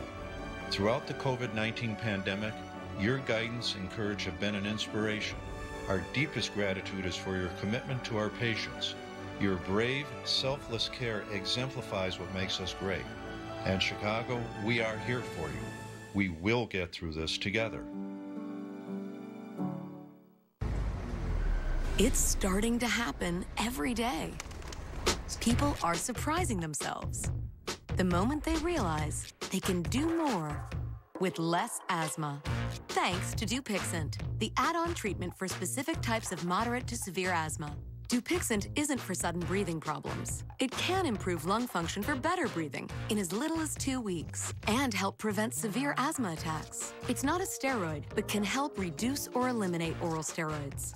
Don't use if allergic to Dupixent. Serious allergic reactions can occur, including anaphylaxis, which is severe. Tell your doctor right away about signs of inflamed blood vessels such as rash, shortness of breath, chest pain, tingling, or numbness in your limbs. Tell your doctor if you have a parasitic infection and before stopping any asthma medicines, including oral steroids. Do more with less asthma. Talk to your doctor about Dupixent. A playoff for the right to win the National League wildcard berth. The Giants nothing, the Cubs nothing as we move to the last of the fifth inning at Wrigley Field, Chicago. The Reverend Jesse Jackson here tonight. Stopped by the booth to say hello to my partner, Joe Morgan. He is here to help Sammy Sosa collect things and collect funds for the relief effort in Sammy's home country, the Dominican Republic, ravaged by the Hurricane Georges here is uh, Henry Rodriguez. That curveball misses from Mark Gardner. One ball, no strikes. John, on Saturday night, Sammy Sosa, Jose Hernandez, and Henry and Henry Rodriguez went out and helped them load trucks. They were going to be sent over, you know, to help the people in Dominican Republic. And they had the final game yesterday. They did that on Saturday night and played yesterday afternoon in their final road game of the season. Oh! 3 0 to Rodriguez. Gary Gaetti on deck. Well, uh, the Reverend Jackson said that if you'd like to support the Sammy Sosa Foundation, which is heading up this effort to send uh, relief items to the Dominican Republic, you can call Wrigley Field and they'll give you the information on how to do it. I had a feeling Rodriguez was taken all the way on that one, Joe. Three and one the count. Well, I'm not so sure that he should have been. Right center field. Javier. Base hit. Good job by Javier to hold him to a single. Henry Rodriguez. It's the Cubs third hit. Well, Rodriguez, along with Sammy Sosa, is really your power hitters on this ball club. And a lot of times you let a guy turn a guy loose 3 and 0. He actually had a better hit 3 and 0 than he did pitch to hit than he had 3 and 1. Good job by Stan Javier to hold him to a single. Here's Gaetti. He grounded into a double play his first time. Strike on the outside. And one of the things you have to remember with Rodriguez, he doesn't run that well. So the fact that he's on first base you know, to get a, if he would have gotten a walk would not have been that big a deal.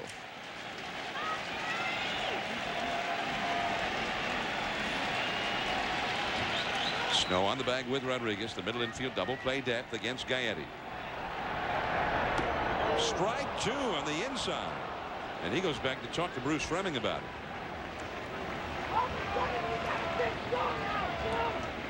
We're at Wrigley Field, Chicago. I'm John Miller with Joe Morgan. The Giants and the Cubs in a playoff to determine which one will secure the wild card berth in the National League Division Series. The winner will go to Atlanta to face the Braves starting Wednesday. No score fifth inning. There's a high drive deep into left center. Bonds back at the wall. Gone. 2-0 Chicago.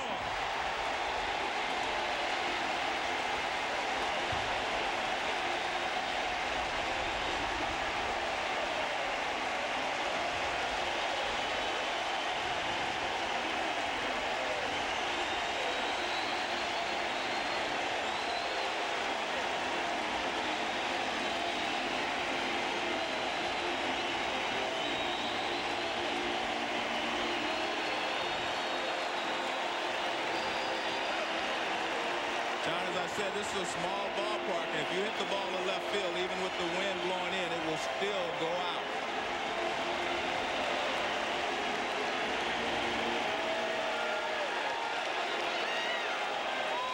Gary Gaetti with his eighth home run as a Cub. In 126 at bats, he has just been a great presence in that lineup since coming over from the Cardinals. John, this is really just a mistake that you cannot make if you're a veteran pitcher on an 0-2 pitch. No balls and two strikes. You try to get him to chase something. But watch where this pitch is. Right in the middle of the plate. Bell tie. You cannot make a mistake like that with no balls and two strikes on you. And if you hit it well to left field, it will still go out here in Wrigley Field, even with the wind blowing in. And that goes around about six rows deep, and the Cubs have a two to nothing lead. And that's the look in the dugout as they saw it on its way. They were hoping, and then it landed in the bleachers. Well, that can relieve some of that tension for the Cubs. They have scored first, and Mark Gardner, knowing he made a mistake,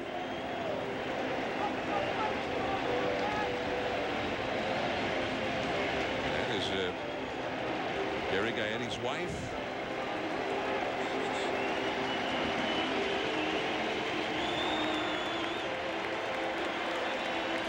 And the delay is because the Cubs fans got excited and they had to clean up some of the debris in the outfield.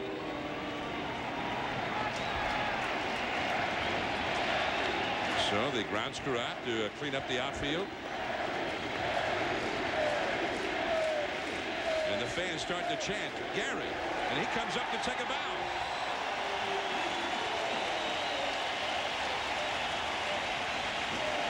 So the first big hit of the game comes from the Cubs for the 40-year-old Gary Gaetti. Here's Tyler Houston. He hits a high fly ball, but that will stay in the ballpark. Stan Javier in left center. And that is the first out of the fifth inning. Well, not only did he hit, give up the home run, then Gardner had to, to wait around for two or three minutes while they cleaned up the outfield. Gary Gaetti with his 362nd career home run.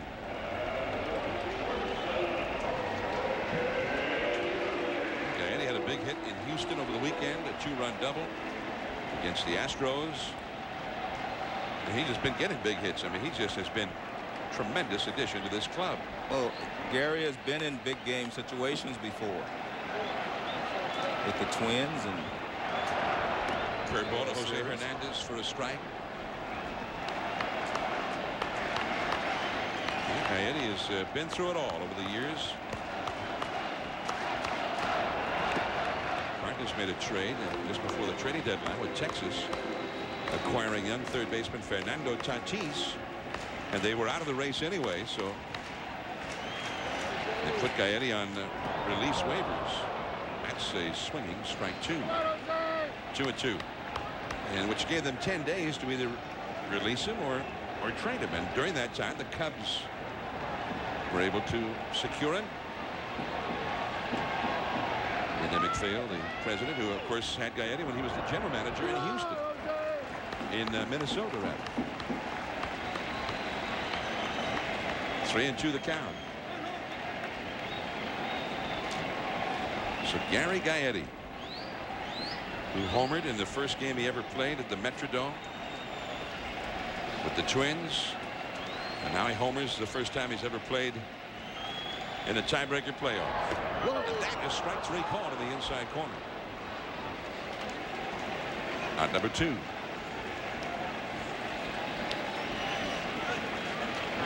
And Trachsel, the pitcher, coming up. Hasn't really been pretty for Trachsel, but he's retired Barry Bonds three times consecutively. That's certainly been a key for him.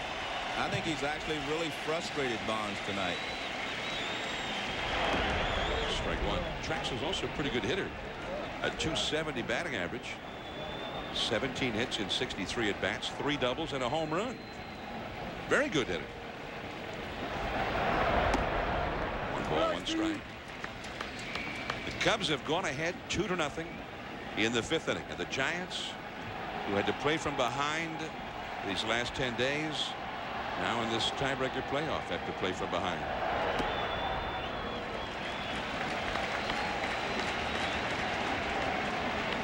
Two and one the count to Trachsel. Two down, nobody on. Two runs in. The Cubs using their favorite weapon of the year, the home run. There it goes. Javier into shallow center. But two runs on the board for the Chicago Cubs. Jeff Kent, Joe Carter, and J.T. Snow coming up. Two to nothing, Cubs. Cubs two, Giants nothing. The late Harry Caray, they've often felt has been somehow lingering over the proceedings in absentia. And that although Harry is not present in body, that he is in spirit. And uh, the Cubs are now leading with Harry hovering out there over Waveland Avenue. Two to nothing Chicago. By the way, we had mentioned the story that Charlie Hayes of the Giants had not been able to contact his parents down in Mississippi where Hurricane Georges going through the Gulf Coast. He was very concerned about that and he asked us to ask them to call the ballpark if in fact they were watching. Well we have further word in that story. Here's Jeff Kent against Trachsel. Curveball for a strike. Apparently they were not watching because they have no electricity in their home down there. But WDM radio in Mississippi was watching. They reached Charlie Hayes' mom. She reports that everyone is fine. They just don't have any electricity right now. That's a ball outside. They called uh, WDAM in Mississippi, then called uh, the ballpark here. Bob Rose, Giants publicity director, took the call and called down to the clubhouse to tell Charlie Hayes that everybody's fine down there. So Charlie got to be resting a little bit easier now to know that. Yes. That's out of play off to the right. Course, Joe and I and all of us here at ESPN send all of our prayers and best wishes to everybody down who has uh, been subjected to the ravages of Hurricane Georges. And if you've been able to tune in tonight, we're happy to play some small part, maybe taking you away for just a brief time from the harsh reality down there. One ball, two strikes to Kent. Two and two. Kent has hit one right back to Trachsel, and he's been hit by a pitch. Joe Carter on deck, and then J.T. Snow. Steve Trachsel has walked five and hit a batter, but he has not allowed a hit. For the first time, he has a lead, two to nothing. Right to Morandini.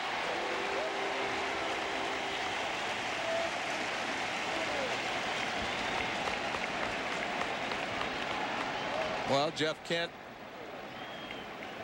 takes a fastball away and he goes the other way, but he lines it right at the second baseman Morandini, who was positioned perfectly.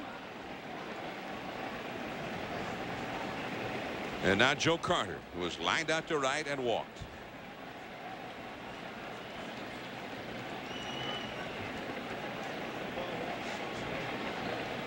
The outfield around toward left. Swing and a foul.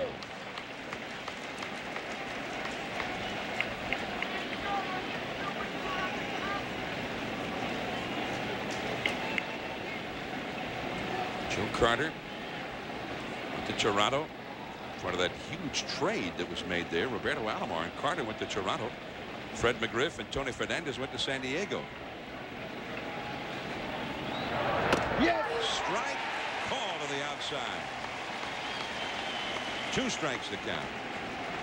Well, those two runs have really helped Trachsel. I mean, his fastball seems to have a little more life to it here in the sixth inning than it's had in the last two or three innings.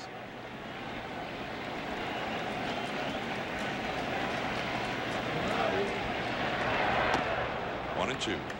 Well, you know, I, I remember reading a, a quote after Al Leiter lost the ball game for the Mets on Saturday. Mets got shut out in Atlanta. And he said he really felt like the way they were struggling to get runs that he was going to have to be perfect, not allow them to score to win that game. And it affected the way he threw. That's a foul. Just barely got a piece of it. So now Trachsel knows he can give up a run or two and be all right. Mark Gardner. I mean, he's pitched very well. He just made that one bad pitch. And I mean, 0 and 2, you would think, you know, he's got to try to get him to fish for something or try to get Gaetti to hit a ground ball, at least throw a sinker away or something. But I know the pitch wasn't exactly where he wanted it, but you have to miss off the plate, not in the middle. Ooh, man, that curveball right there. But Carter tried to murder it, fouled it straight back.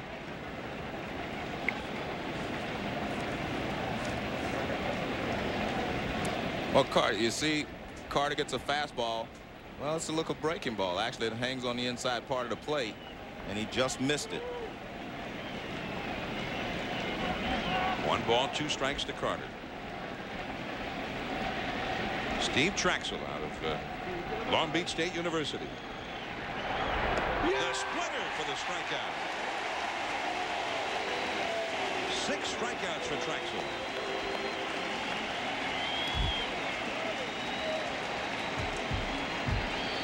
Well, he made a bad pitch and he comes back with a good pitch.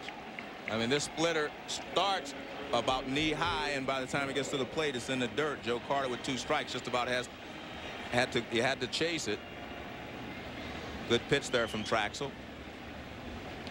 Two down, and here is J.T. Snow. He has walked and grounded out the first.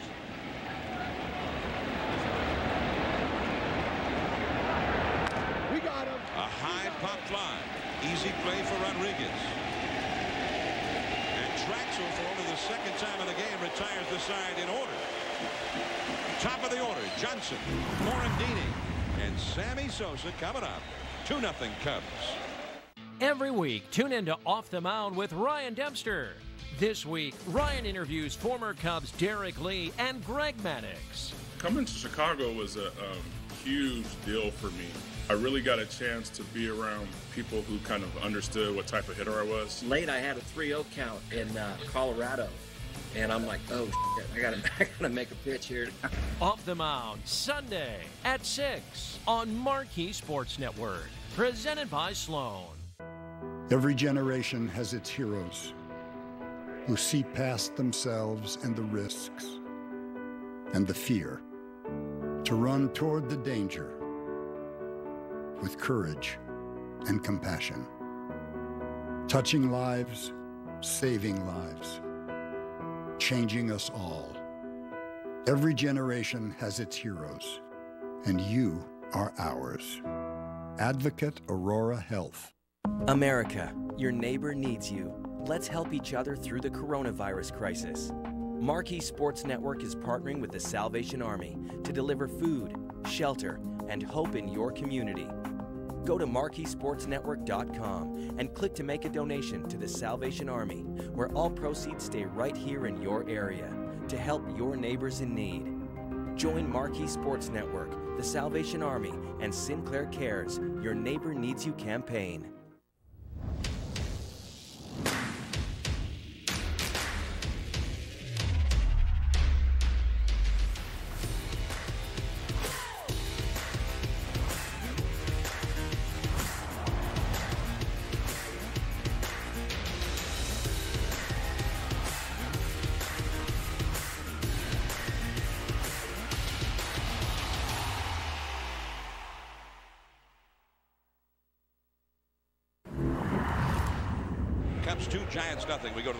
Sixth inning from Wrigley Field.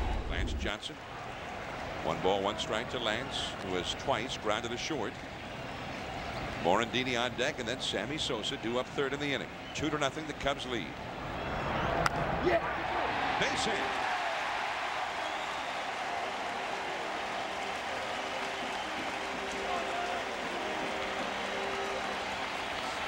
And this is probably Mark Gardner's last inning if he can get through it without any problems because he's the third hitter for the Giants in the seventh inning. And there you see, I, that's what I, that's what that 40 ounce bat will do for you. You do not have to get all of the ball, you know, to hit a line drive. And Lance swings that bat well. If you're the Cubs here, I think you try to manufacture a run here. You want to send Lance? Well, either that or you have Morandini execute a hit and run, or you go ahead and bunt. Johnson with 10 steals this year. Morandini, excellent bunter, excellent hit and run man. Yeah. Down the left field line. Bonds a long run. Gets there. Nice play by the gold glove outfielder. And back to first goes Johnson. And here comes Sammy Sosa.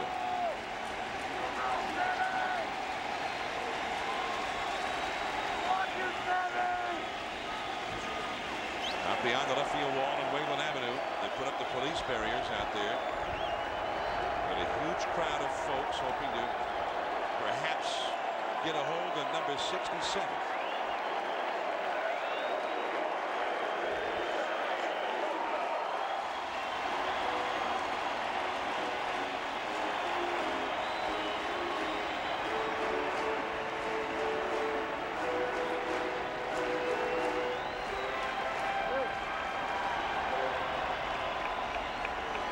Sosa stands in. He has on a check swing bounced into a double play and he has also struck out. Johnson back to the bag at first. Sosa with four home runs lifetime against Gardner. He also has hit four against Orel Hershiser of the Giants. But has not hit more than four against anybody. That looked like swinging for number 67. Well, this pitch is up and out of the strike zone as we take a look at Rodriguez and Johnstone in the in the Giants bullpen.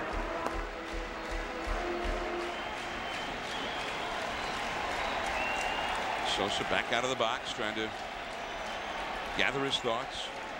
Now he's back in there.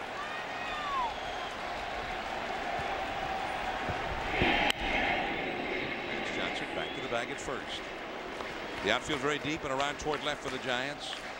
Well, Sosa has hit a lot of his home runs this year to right and right center. Tonight, the wind blowing in from right. Everybody on their feet.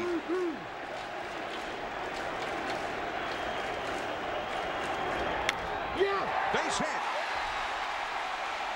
Johnson's going to try for third. He's in there. The ball hits him.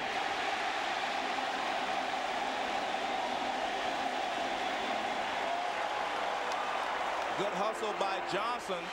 Javier seemed to fall down and didn't get much on the throw. But Johnson forced the action. That's the aggressive type play that you want.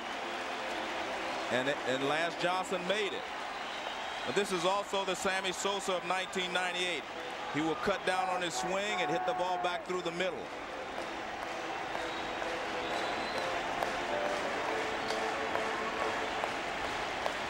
Mark Gardner backing up the play at third base. As uh, Dusty Baker heads out to the mound now. And Mark Gardner is finished.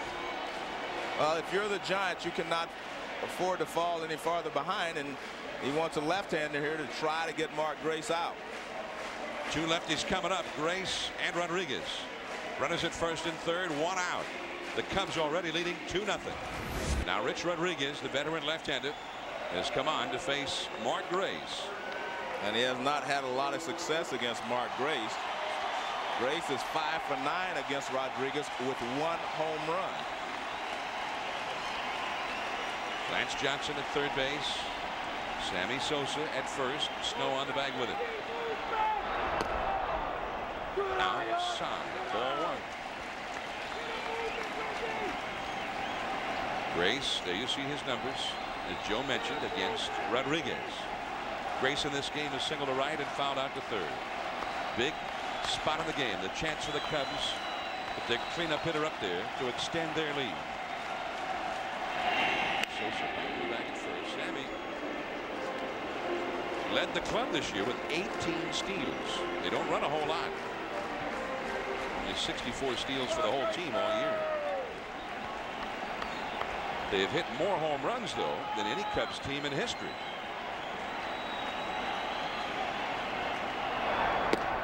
Two and oh. Kind of interesting the way Mark Grace kind of decoys a lot of pitchers. Pitches away, he kind of walks across the plate, which tells them that maybe you can come inside on him, but he protects inside first. You see him kind of walk across the plate on those first two pitches. If you're the catcher or the pitcher, you say, well, I should bust him inside, but he actually wants that. Oh.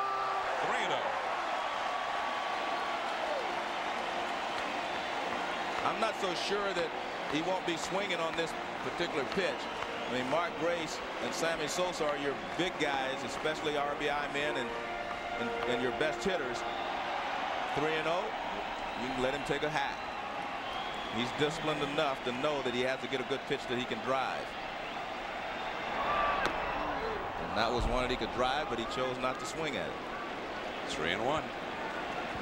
Grace looking over Tom Gamboa, the third base coach. Relaying the sign for that man, manager Jim Riggleman. The middle infield double play depth. Sosa's running. Ball four. That was a good smart play, I think, by the Cubs there to go ahead and run Sammy Sosa because Mark Grace will put the ball in play if it's a strike and you open up a hole for him on the left side especially because he's not going to pull a lot of left-handed pitchers but if he does pull it you still have the hole open at first base so I think that was a perfect hit and run situation there for Riggleman. Now instead of Henry Rodriguez there is Matt Mieske to come out and act as a pinch hitter.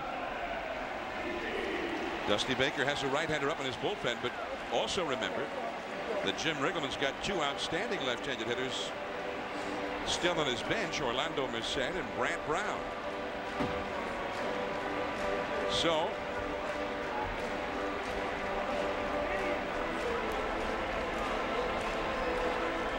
Henry Rodriguez packing his gear. Well, John, they Glenallen Hill hit a pinch hit grand slam home run against the Giants earlier this year. Right here at Wrigley Field. Yeah, in this situation, a pinch hit, and Glenallen Hill hit a home run, a grand slam. But they choose to use Matt Mieske. I think he doesn't want to fire all his big lumber this early in the ball game. Johnson at third, Sosa at second, and Grace at first. One out. The Cubs ahead 2 nothing.